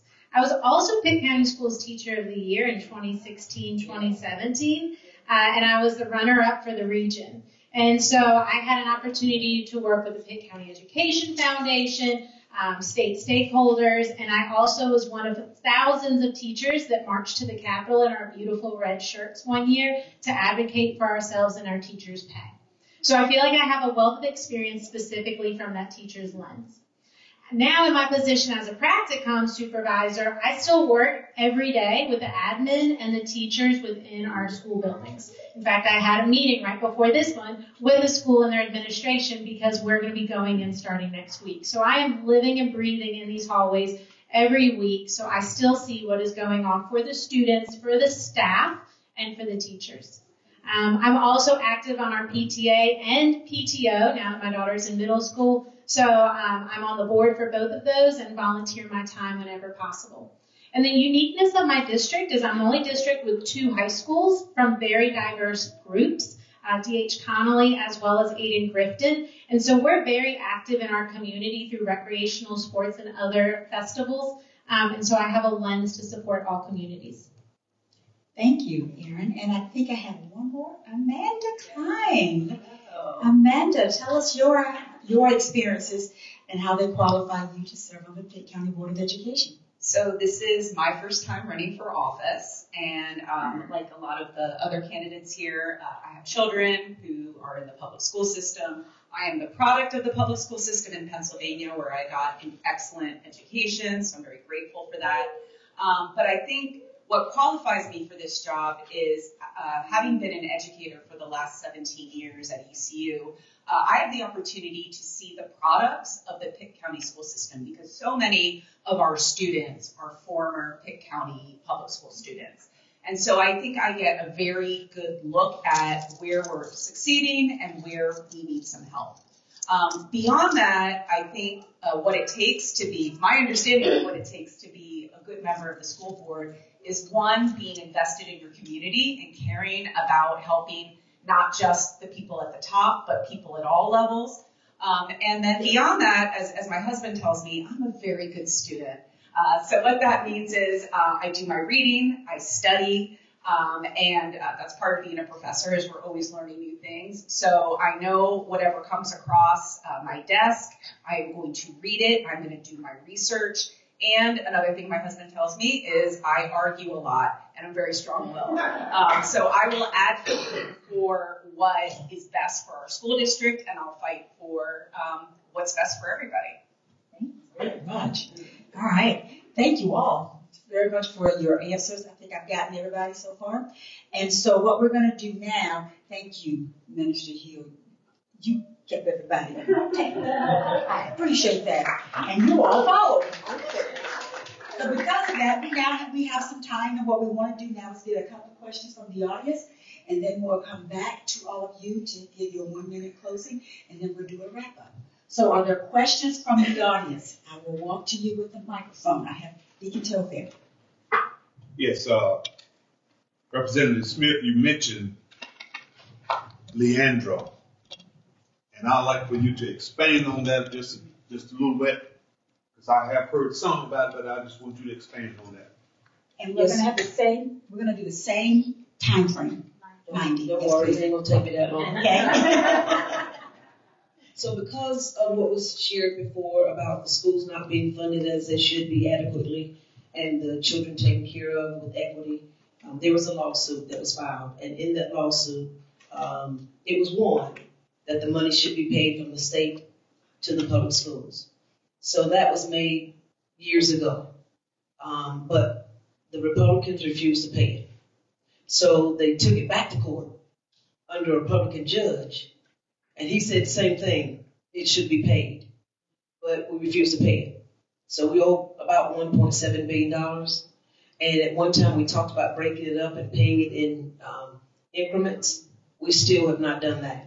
But we just paid all that money to opportunity scholarships though. So I'm just saying. So that's what Leandro is. We actually won a court case to make sure that our public schools are funded the way they should be and have not been, and we won't do it. And then we look at other people and talk about them being criminals and doing wrong, and we're gonna make sure we hold people accountable. Oh my goodness. That's what Leandro is. Thank you. Thank you. Thank you, Senator Smith. I've got one back here. Thank you. My question is for Judge Thompson. Um, it's, um, the judges' races are kind of uh, a little bit foreign for all of us. Um, they used to be nonpartisan. And so I wanted to ask you to expound on what you were saying about that unanimous decision of three judges when they're 15. How is the system really supposed to work? In 2014, the legislative branch decided to make judicial races partisan. Before then, we were nonpartisan. In fact, it's the right way to do it because we don't get red files, we don't get blue files. On, on the current um, bench where we have 15 judges, there are 11 Republicans and four Democrats that are currently on the bench. So more than often, you're going to get panels of three in the majority than you will with um, maybe a combined um, setting, three judges. So when I said earlier, even though the opinion reads unanimous, it was actually a three-panel judge system that made that decision for the uh, coming up. And I'm glad that you brought up about judicial races. Because everything that's talked about here tonight, what's unfair, what's unconstitutional, gets filtered through the courthouse. And oftentimes people show up at the ballots and they skip over the judges because you don't know who the judges are. And so if you don't ask the local lawyers and the preachers who, who are the judges, then you don't vote for judges and then we lose races like Cheri Beasley, 401 votes. So I'm grateful to be here to be put a, put a name and a face together because judges matter. The courthouse is a sleeping giant, y'all, mm-hmm. and they've gotten wind of that, and that's why we have to now file partisan. When I'm looking at folks' cases, I don't care about whether you're Republican or Democrat. These are people looking for answers, final conclusions to an answer that's been outstanding for a long time. And if we don't get the judges in the race, in the room to start talking about these issues, then we're going to end up with a situation of a majority of one side in the bench, on the bench, and making decisions that impact all of us for generations to come. Thank you for the question. Sure. Thank you, Judge Thompson. Appreciate that. Time for another? I have one. I start with one, and, and this is for, um, Judge Carol Thompson also. Uh, this is in re- reference to the, the riot act, the riot law that was passed about, uh, what, three, if it's more than three people in a group, then that's considered a, a riot. Uh, Have that come across to the appellate court yet? Have you guys had to deal with it yet? It has not come up on appeal yet, but as, a- again, any law, any constitutional question has to be filtered through the courthouse. And no one yet, just like the mask bill, saying that it's, it's gonna be illegal for you to walk around and protect yourself. All of those things at some point will come up to the courthouse. And if we don't have judges who are in tune and have their fingers on the pulse of what's really going on in the community, then this is the kind of stuff that will continue to go on and unchecked and unfiltered. And since I have a mic, okay, one other question. Uh, Thank you, thank you, Judge Thompson. Yeah, this is our county commissioners, um, county commissioners. Um, this is in reference to, um, de- uh, zoning and development and our environment, our environment. Um, do we, do we have, um, do we have eff- effective, necessary and effective zoning laws and criteria in place to make sure that before a company comes in or development comes in, that our communities are going to be protected. Because we all know that usually when industry comes in whether they're roads built or bridges built, those, those things are usually done in the community of brown and black people. We all know that. So my question is, do we have, um, do, uh, what is your, do we have rules and laws and regulations in place to make sure that our communities are protected, land, water, soil, and air? Yes. Yes, we do.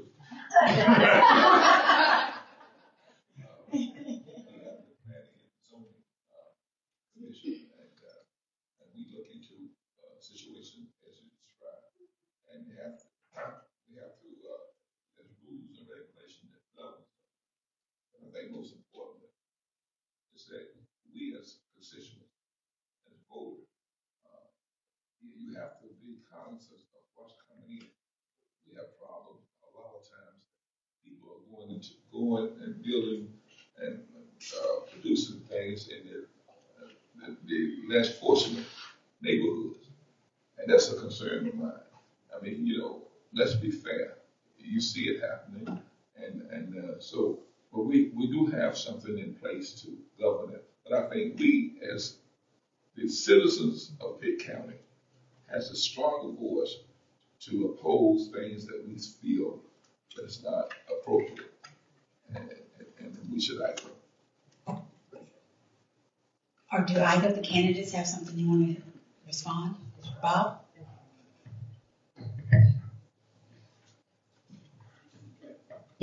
Following on what uh, Melvin said, um, I think the county commission has a lot of capacity to, in both recruiting businesses to come to the county and in deciding or negotiating the terms with them about who comes.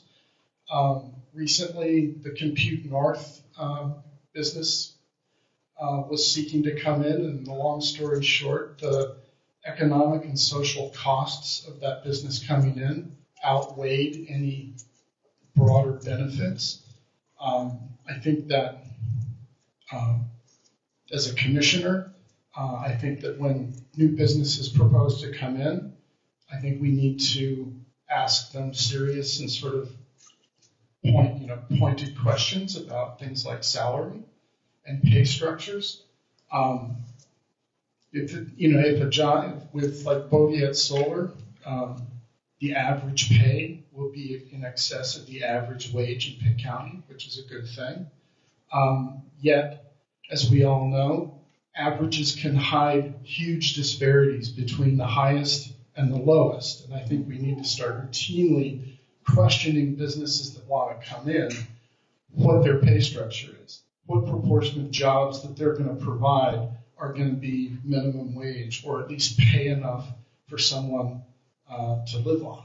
And I think things like that, using the tools that we have more proactively, can solve or at least improve some of the questions, the issues you're raising. All right. Thank you, Bob. All right. Do you have anything, Mac? You good? I'm good. Okay. All right. I've got a question here.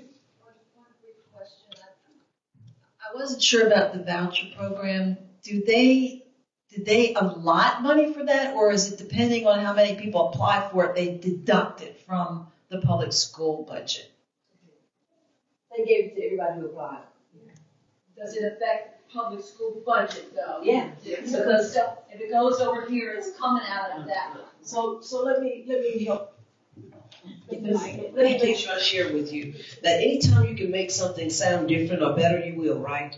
So if you're giving money that you were not giving before to a private school, but you're not willing to give money to the public school that needs it, you can always say the money came from other places. So you can move the shell game if you want to.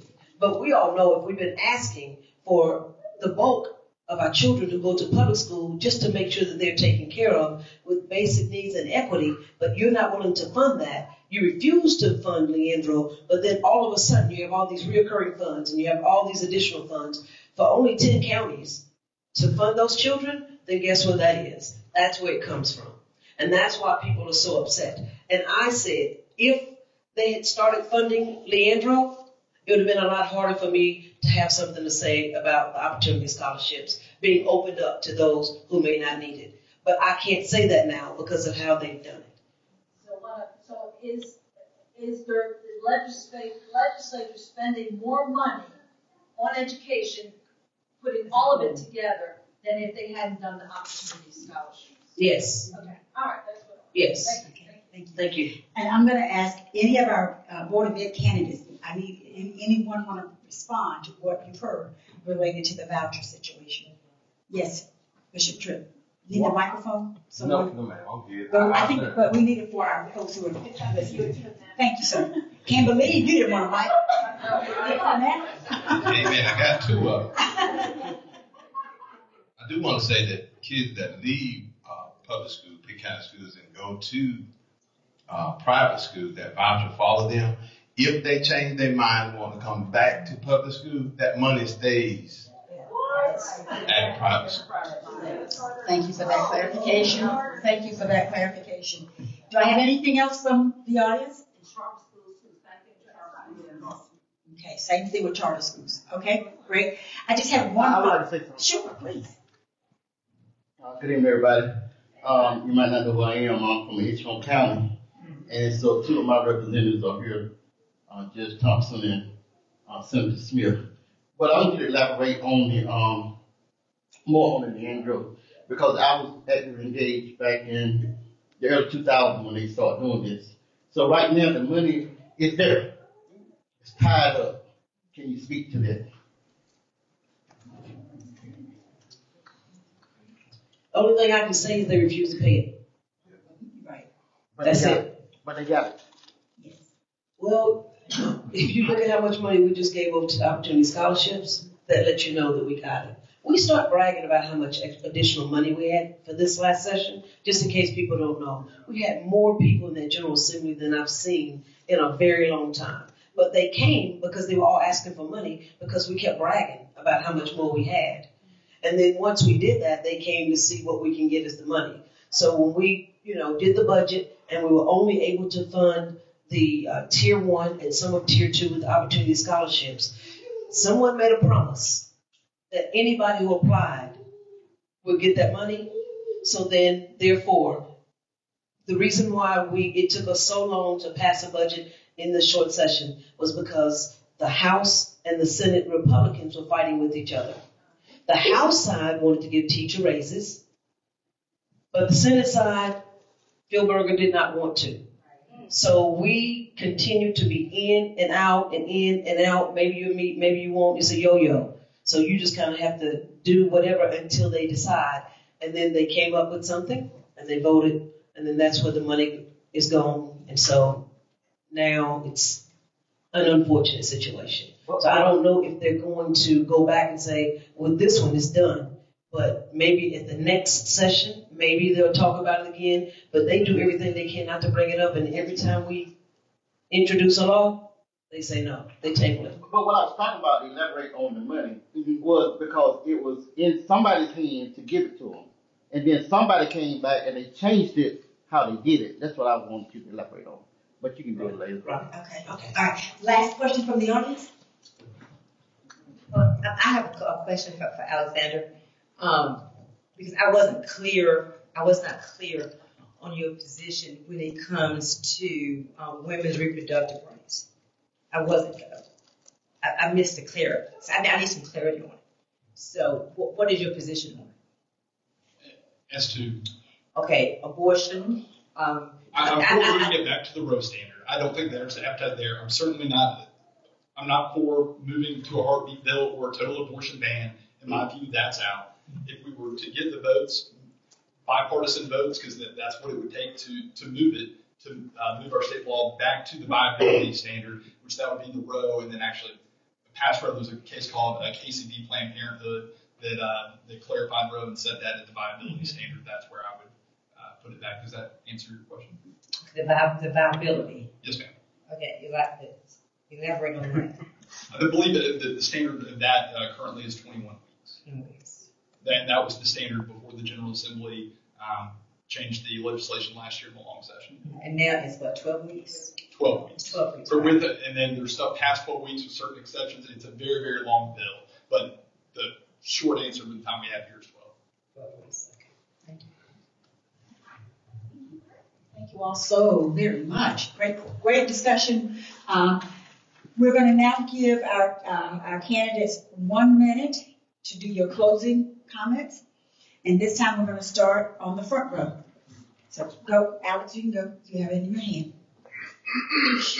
to get anything done in the General Assembly, you've got to build a coalition. That is going to be my strength as an assistant public defender, practicing law. The best results I've got for my clients are the times that I've been able to form relationships with law enforcement, with district attorneys, uh, with judges. Um, there's, we talked tonight, my opponent here says that you know people don't care how much you know until they know how much you care. She was the third most absent senator in the state senate uh, last session in the long session. In fact, we talked about school vouchers. She missed the vote on school vouchers on Monday. Wasn't here. Didn't vote for it. Um, in Bethel, she was on the agenda when I was on the campaign trail. Came in 45 minutes late. Late again here tonight. Your demeanor and how you carry yourself show how much you care. I am running a bipartisan campaign. I need Democrat support. I need it in order to win. I'd be more accountable to you. You've heard my positions here tonight. I'm not a radical right wing uh, guy. I'm here running for East North Carolina because I live here and I care, and you can hold me accountable. Thank you. Thank you, Alex. Moving down to the judge. Oh, no, you can come right. Judge like, no. I'm not getting in between that. All right. Thank you. Um, thank you so much again for allowing me to be here. I am just like you, an everyday worker. So when you're in a situation and they play yo-yo with your life and they expect you to be able to be at every single vote, but they don't tell you when they're going to call the votes, I am the breadwinner in my household. I am not a trust fund baby. So I have missed votes because I had to work, just like the average person. But if you check everybody's record, people miss votes. When I first got in as a freshman, I was there all the time. And I kept saying, why are people not here? They said, people got to live. So I know you got to live and you got to work in order to eat. So that's what I do. The other part of it is when you are in the super minority, it doesn't matter what I vote, they're going to have it. They're going to win it and they're going to keep doing it. So for me not to feed my family because I'm just going to sit there and vote and it doesn't matter because we're in the super minority, it does not make sense. But when I am late, that's because I'm helping my people. Everybody knows it. That's no secret. If I was going to be on time all the time, I probably would help nobody, but just be here to, for show and cameras. That ain't Kandie. You know how I roll. Thank you so much. They're not like us. God bless you. Thank you very much. We're going to the judge now. Thank you. Earlier, when I mentioned that what I do affects generations, I've heard Leandro dropped in this room several times. When he was a child, this case started, and now Leandro, believe it or not, is like a 40 year old attorney still fighting this issue. So when I tell you the court really matters and it affects generations, you've heard it tonight and why it's important to elect judges who understand your value system, who understand what's at stake for our families, not just because it's a party affiliation, but because we have serious issues impacting this state and our kids and our my my grandchildren. I'm asking for your support tonight because I'm already doing the work. As I've mentioned, I've written several opinions that impact school systems, commissioners' fights, local fights with um, your your government officials. They're coming through the filter, through the lenses of the judges. So please don't forget to vote for the judges. I'm running as a team. We are calling ourselves the team. Thompson, Eldridge, Allison, because we didn't know do with Allison's last name R and M for more. We have your values, we have your back, and I'm asking that you have ours in this election. Thank you. Thank you. As a former school teacher, I like that acronym. Going there. Yes. Go ahead. Thank you everyone for being here. Thank you for our timer. I really do appreciate it. And Dr. Hardy, um, you know, you could be doing anything on a Tuesday night, but you chose to be here and be an active, involved, informed member of your community. And I, I appreciate that so much. Um, I'm working to flip this seat. I have been knocking doors, talking to voters since December. Sometimes I am knocking doors, talking to voters with one to three children in tow. And what I say to voters is be informed and go to the State Board of Elections website and find your sample ballot. You can find the exact ballot that you will see when you go to the voting, the voting booth so that you know it's two pages and tell your friends. Because if I knock your friend's door, they might not answer. Maybe they're busy, they're not home. But if you talk to them, you are a trusted resource. They will listen to you and you can tell them you've been here and you've gotten informed about these issues and tell them how important it is to go vote. Um, you can find your sample ballot on the State Board of Elections website or at clarefornc.com. I've got a link to find your sample ballot. Thank you. Thank you, Claire. Yes, indeed, Representative Brown. Ooh, thank you, Lord, I made it.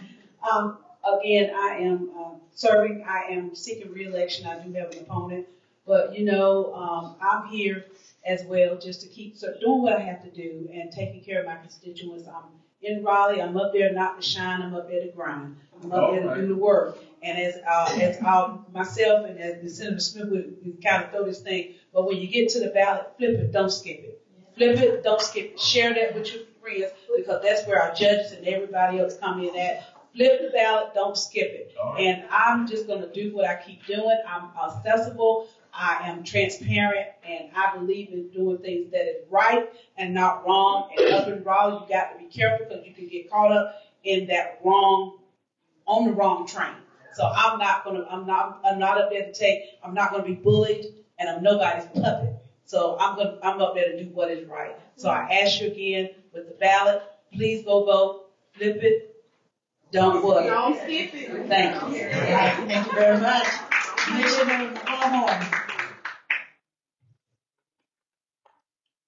First of all, I- I'd like to thank Pastor Wayne and Mr. Hill, I think, uh, for- for hosting uh, this uh, great affair and the Democratic Committee for doing this. Now, I'm just gonna tell you like it is. We have to stop playing with ourselves, stop playing with our feelings. You know the candidates that are running. You know the concerns that you have. You know the people from the top of the of, of the candidate list, President of the United States of America, that's running, and you know who have your best interests. Let's don't fool ourselves. It's time out playing games. You know, you know who's who's for you. You know who wants to protect your rights. We have to we have to utilize what God gave you, common sense.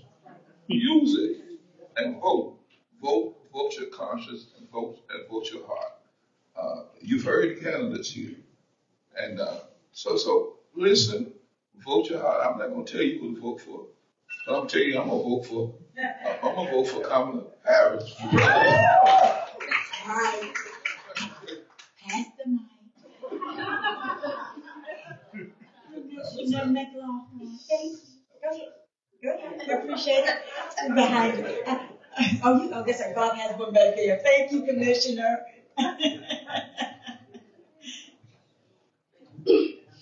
again, thanks to the organizers for making this happen. Um, I ran, I run, I'm running to improve the quality of life for all people in all parts of Pitt County. And to do that, I believe that as a county and as a county commission, I need to do at least.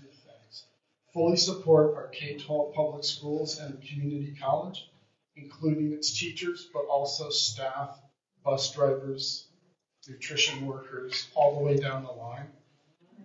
We need to promote and rec- recruit equitable and sustainable economic development into our county, attracting more good paying middle class jobs with a focus on our rural and underserved areas, underserved communities. And we need to ensure that all communities have, in our county, have knowledge of and access to, equitable access to essential county services. So you don't really know me, but I'm asking you to trust me with your vote in November, and I'll spend the next four years earning that trust. Thank you. Thank you. Tricks on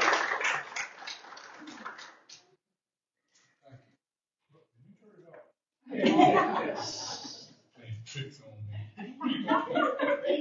Thank you to the host church. Thank you to all of you folks for coming out. it's an honor to be up here on this stage with all these folks. Uh, and, and I really appreciate what they're doing to serve their, their county and their community. Um, I just want to say that I feel very prepared to serve as county commissioner.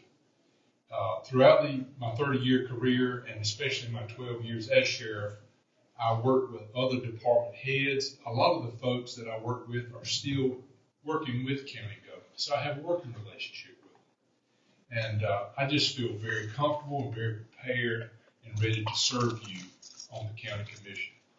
And I just, in parting, I just want to say I'm just really proud that I'm joined up here on the stage with these two people to my left, one of my former chief deputies, and Desha, who's just a jewel when it comes to working with kids. So it's a pleasure to be with y'all. Thank you very much.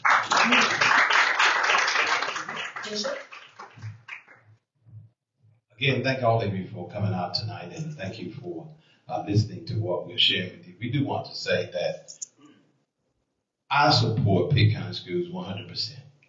This past year, a lot of our schools either met growth or exceeded. That hasn't happened in a long time. All of our schools north of the river, this has not happened in a long time. All of our schools north of the river either met growth or exceeded growth.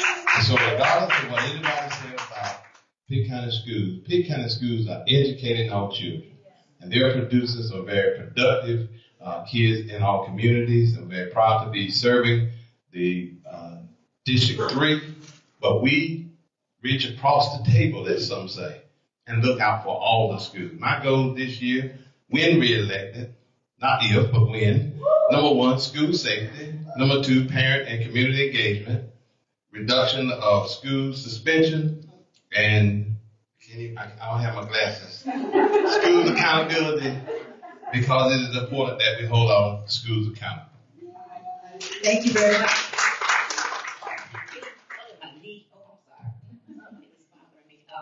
Uh, thank you all. I appreciate uh, the invitation this evening, and thank you all for the privilege of your time.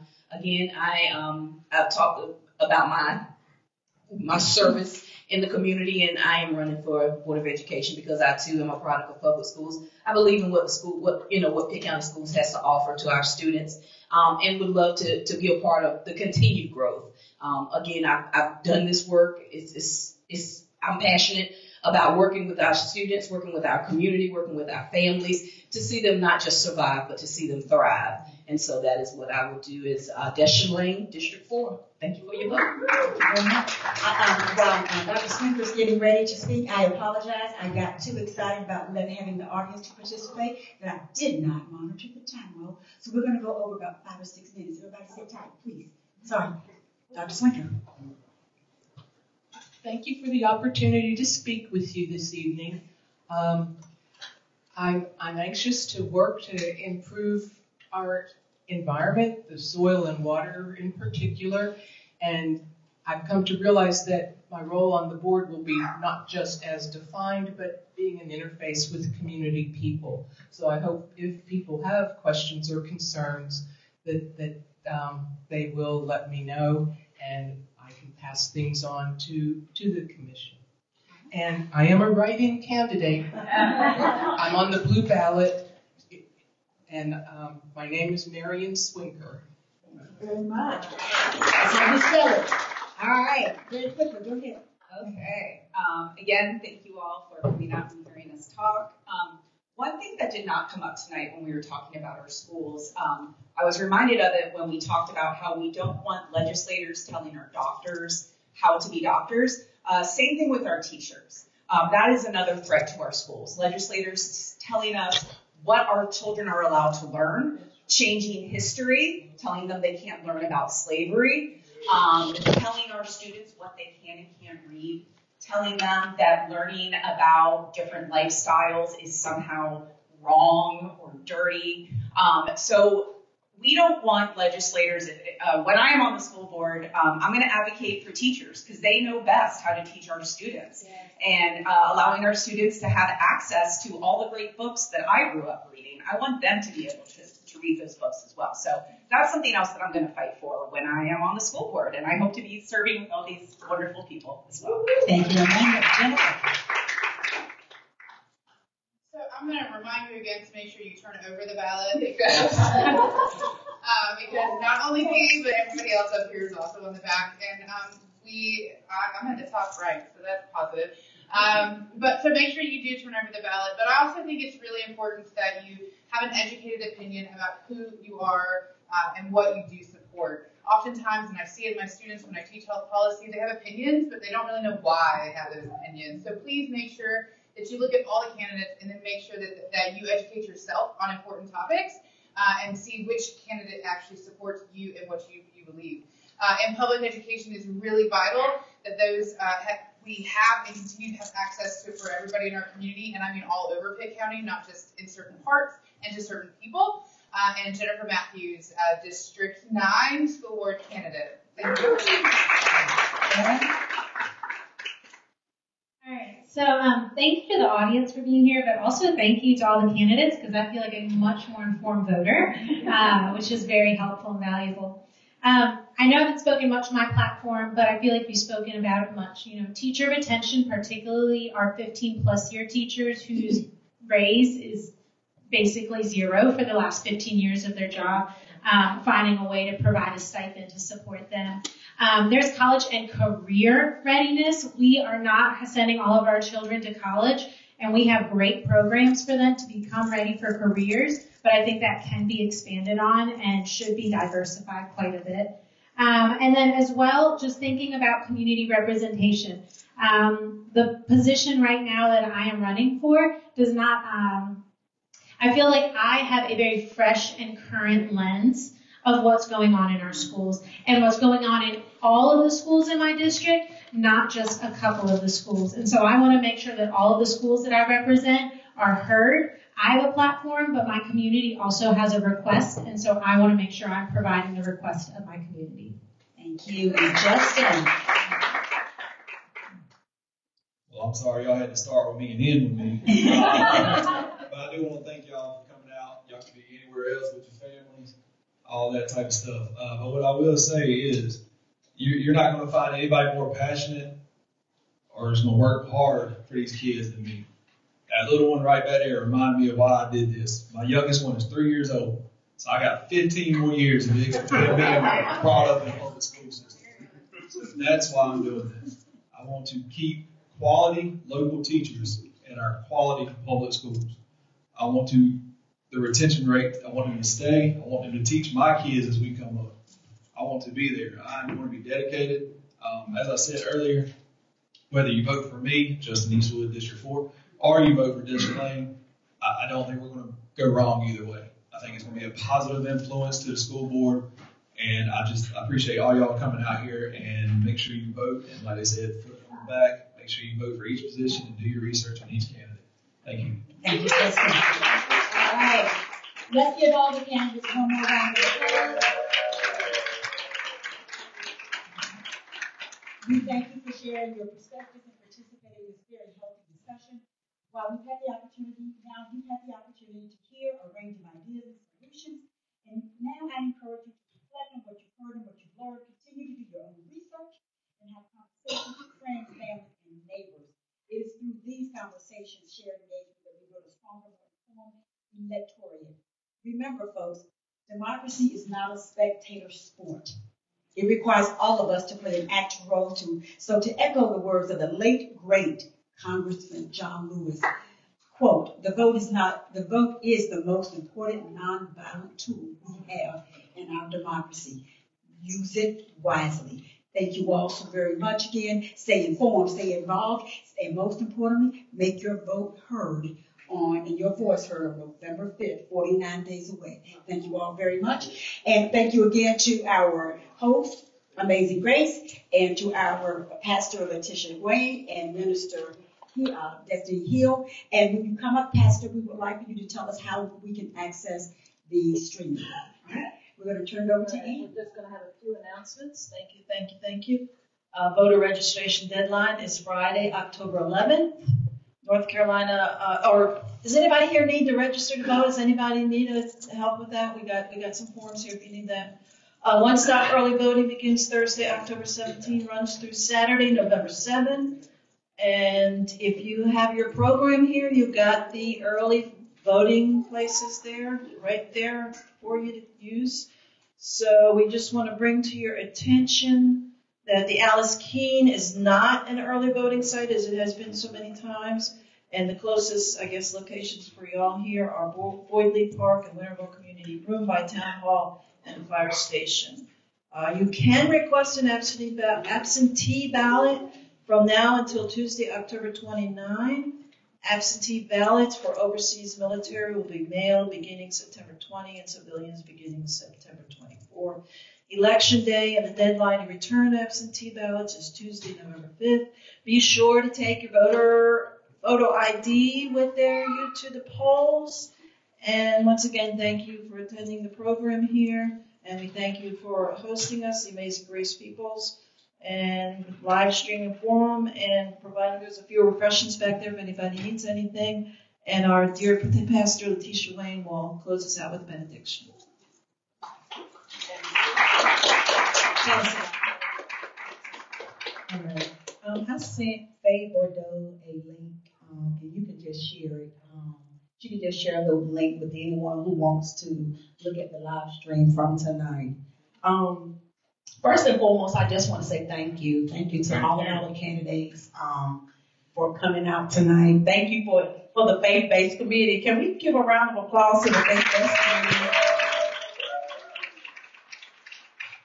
Amen, because this is so needed, amen, in our city.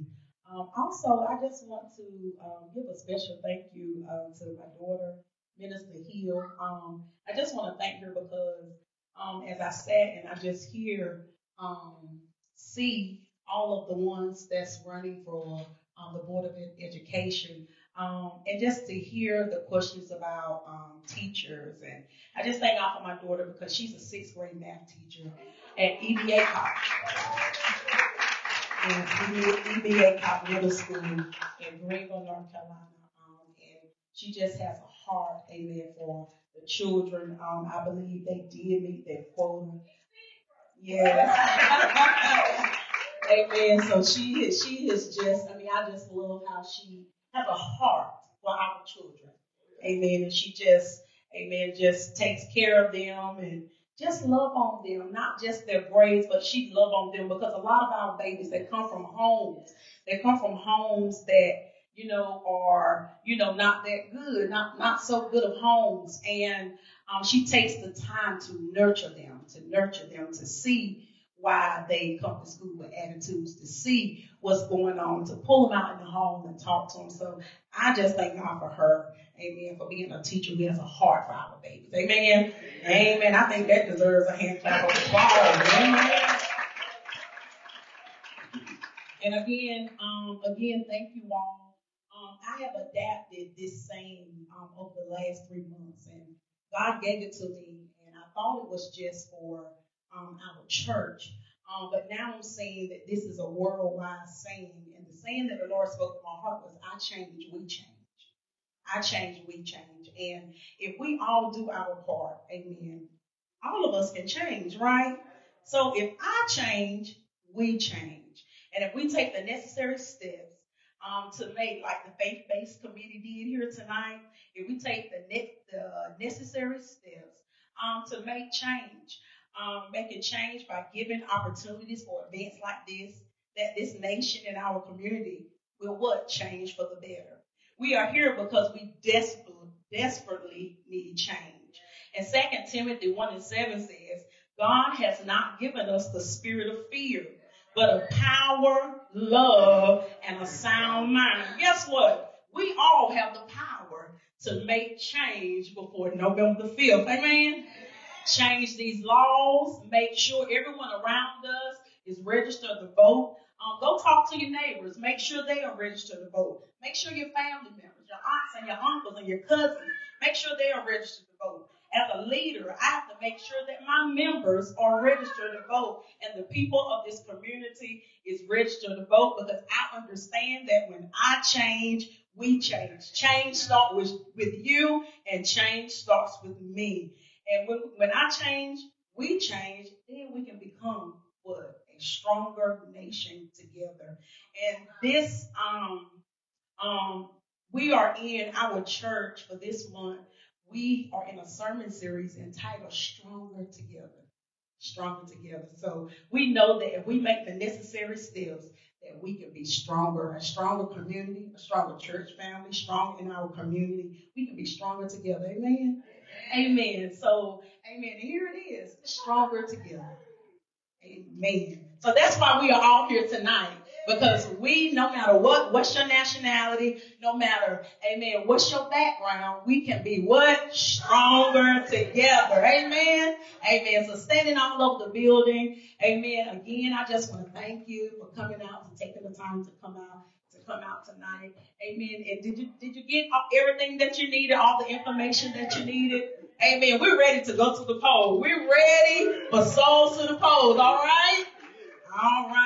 Amen. Let us pray. Father, we thank you for time God spent here on this afternoon. We thank you for each and every candidate. Father, we thank you that, you have not given us the, the, the, the, the, you have not given us the spirit of fear, but a power of love and a sound mind. So Father, I thank you that you keep all of our candidates, God, in perfect health, oh God, as we get ready, God, to elect them uh, on November the 5th. Father, we thank you, oh God, right now that you cover their minds, you cover their bodies in the name of Jesus. Father, I thank you that everywhere their feet shall triumph, God, you shall be in the midst. I thank you that everything their hands touch, God, it will prosper. Father, we thank you, oh God, in the name of Jesus, God, for every hand that's getting ready to touch a pen and sign on the dotted lines as we get ready to vote, oh God. Father, we thank you for doing something miraculous. We thank you for the ram in the bush, oh God, in the name of Jesus. We thank you for sending us a president, for sending us a commissioner,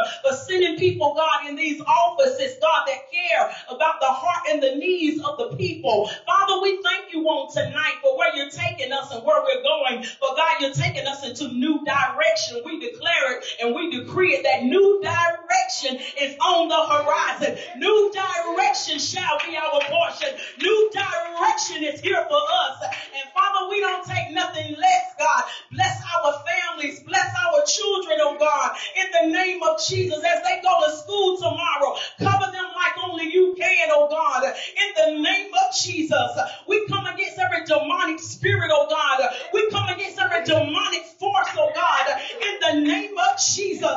We break the back of the enemy right now in the name of Jesus. We have the power and we have the authority to call those things that's not as though they were. So, Father, we thank you on tonight uh, for who you are. Father, we thank you on tonight uh, for being a great and a mighty God. Father, we thank you on tonight uh, for being strong and mighty. We thank you on tonight for coming to see about us on November the 5th, God. We know that, that it's all in your hands because we put it there. We put it all in your hands, oh God. And we thank you now. We give your name the praise and the glory and the honor as we get ready to leave this place, but never your presence, God. I pray now that you keep every animal in the woods, every car on that side of the road. Hold back the drunk driver, oh God, so that when we reach our destination, all things will be well. Father, we thank you for doing it now. Bless every teacher under the sound of my voice. We give your name the praise and the glory. Bless every pastor here in the name of Jesus. Father, we thank you for giving them provision for the vision. We give you praise and we give you glory now. In Jesus' name we do pray. Amen and amen.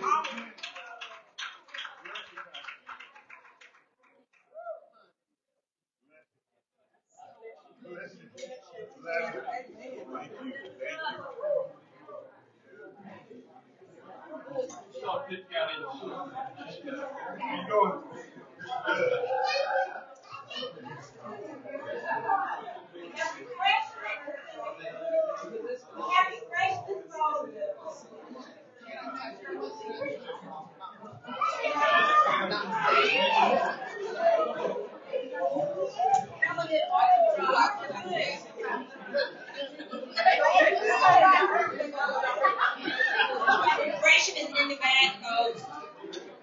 refreshments, get some cookies, chips, refreshments in the back.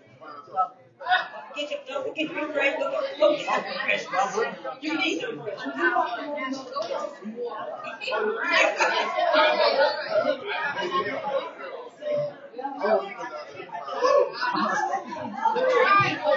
Go get you some. Because my mama might see the.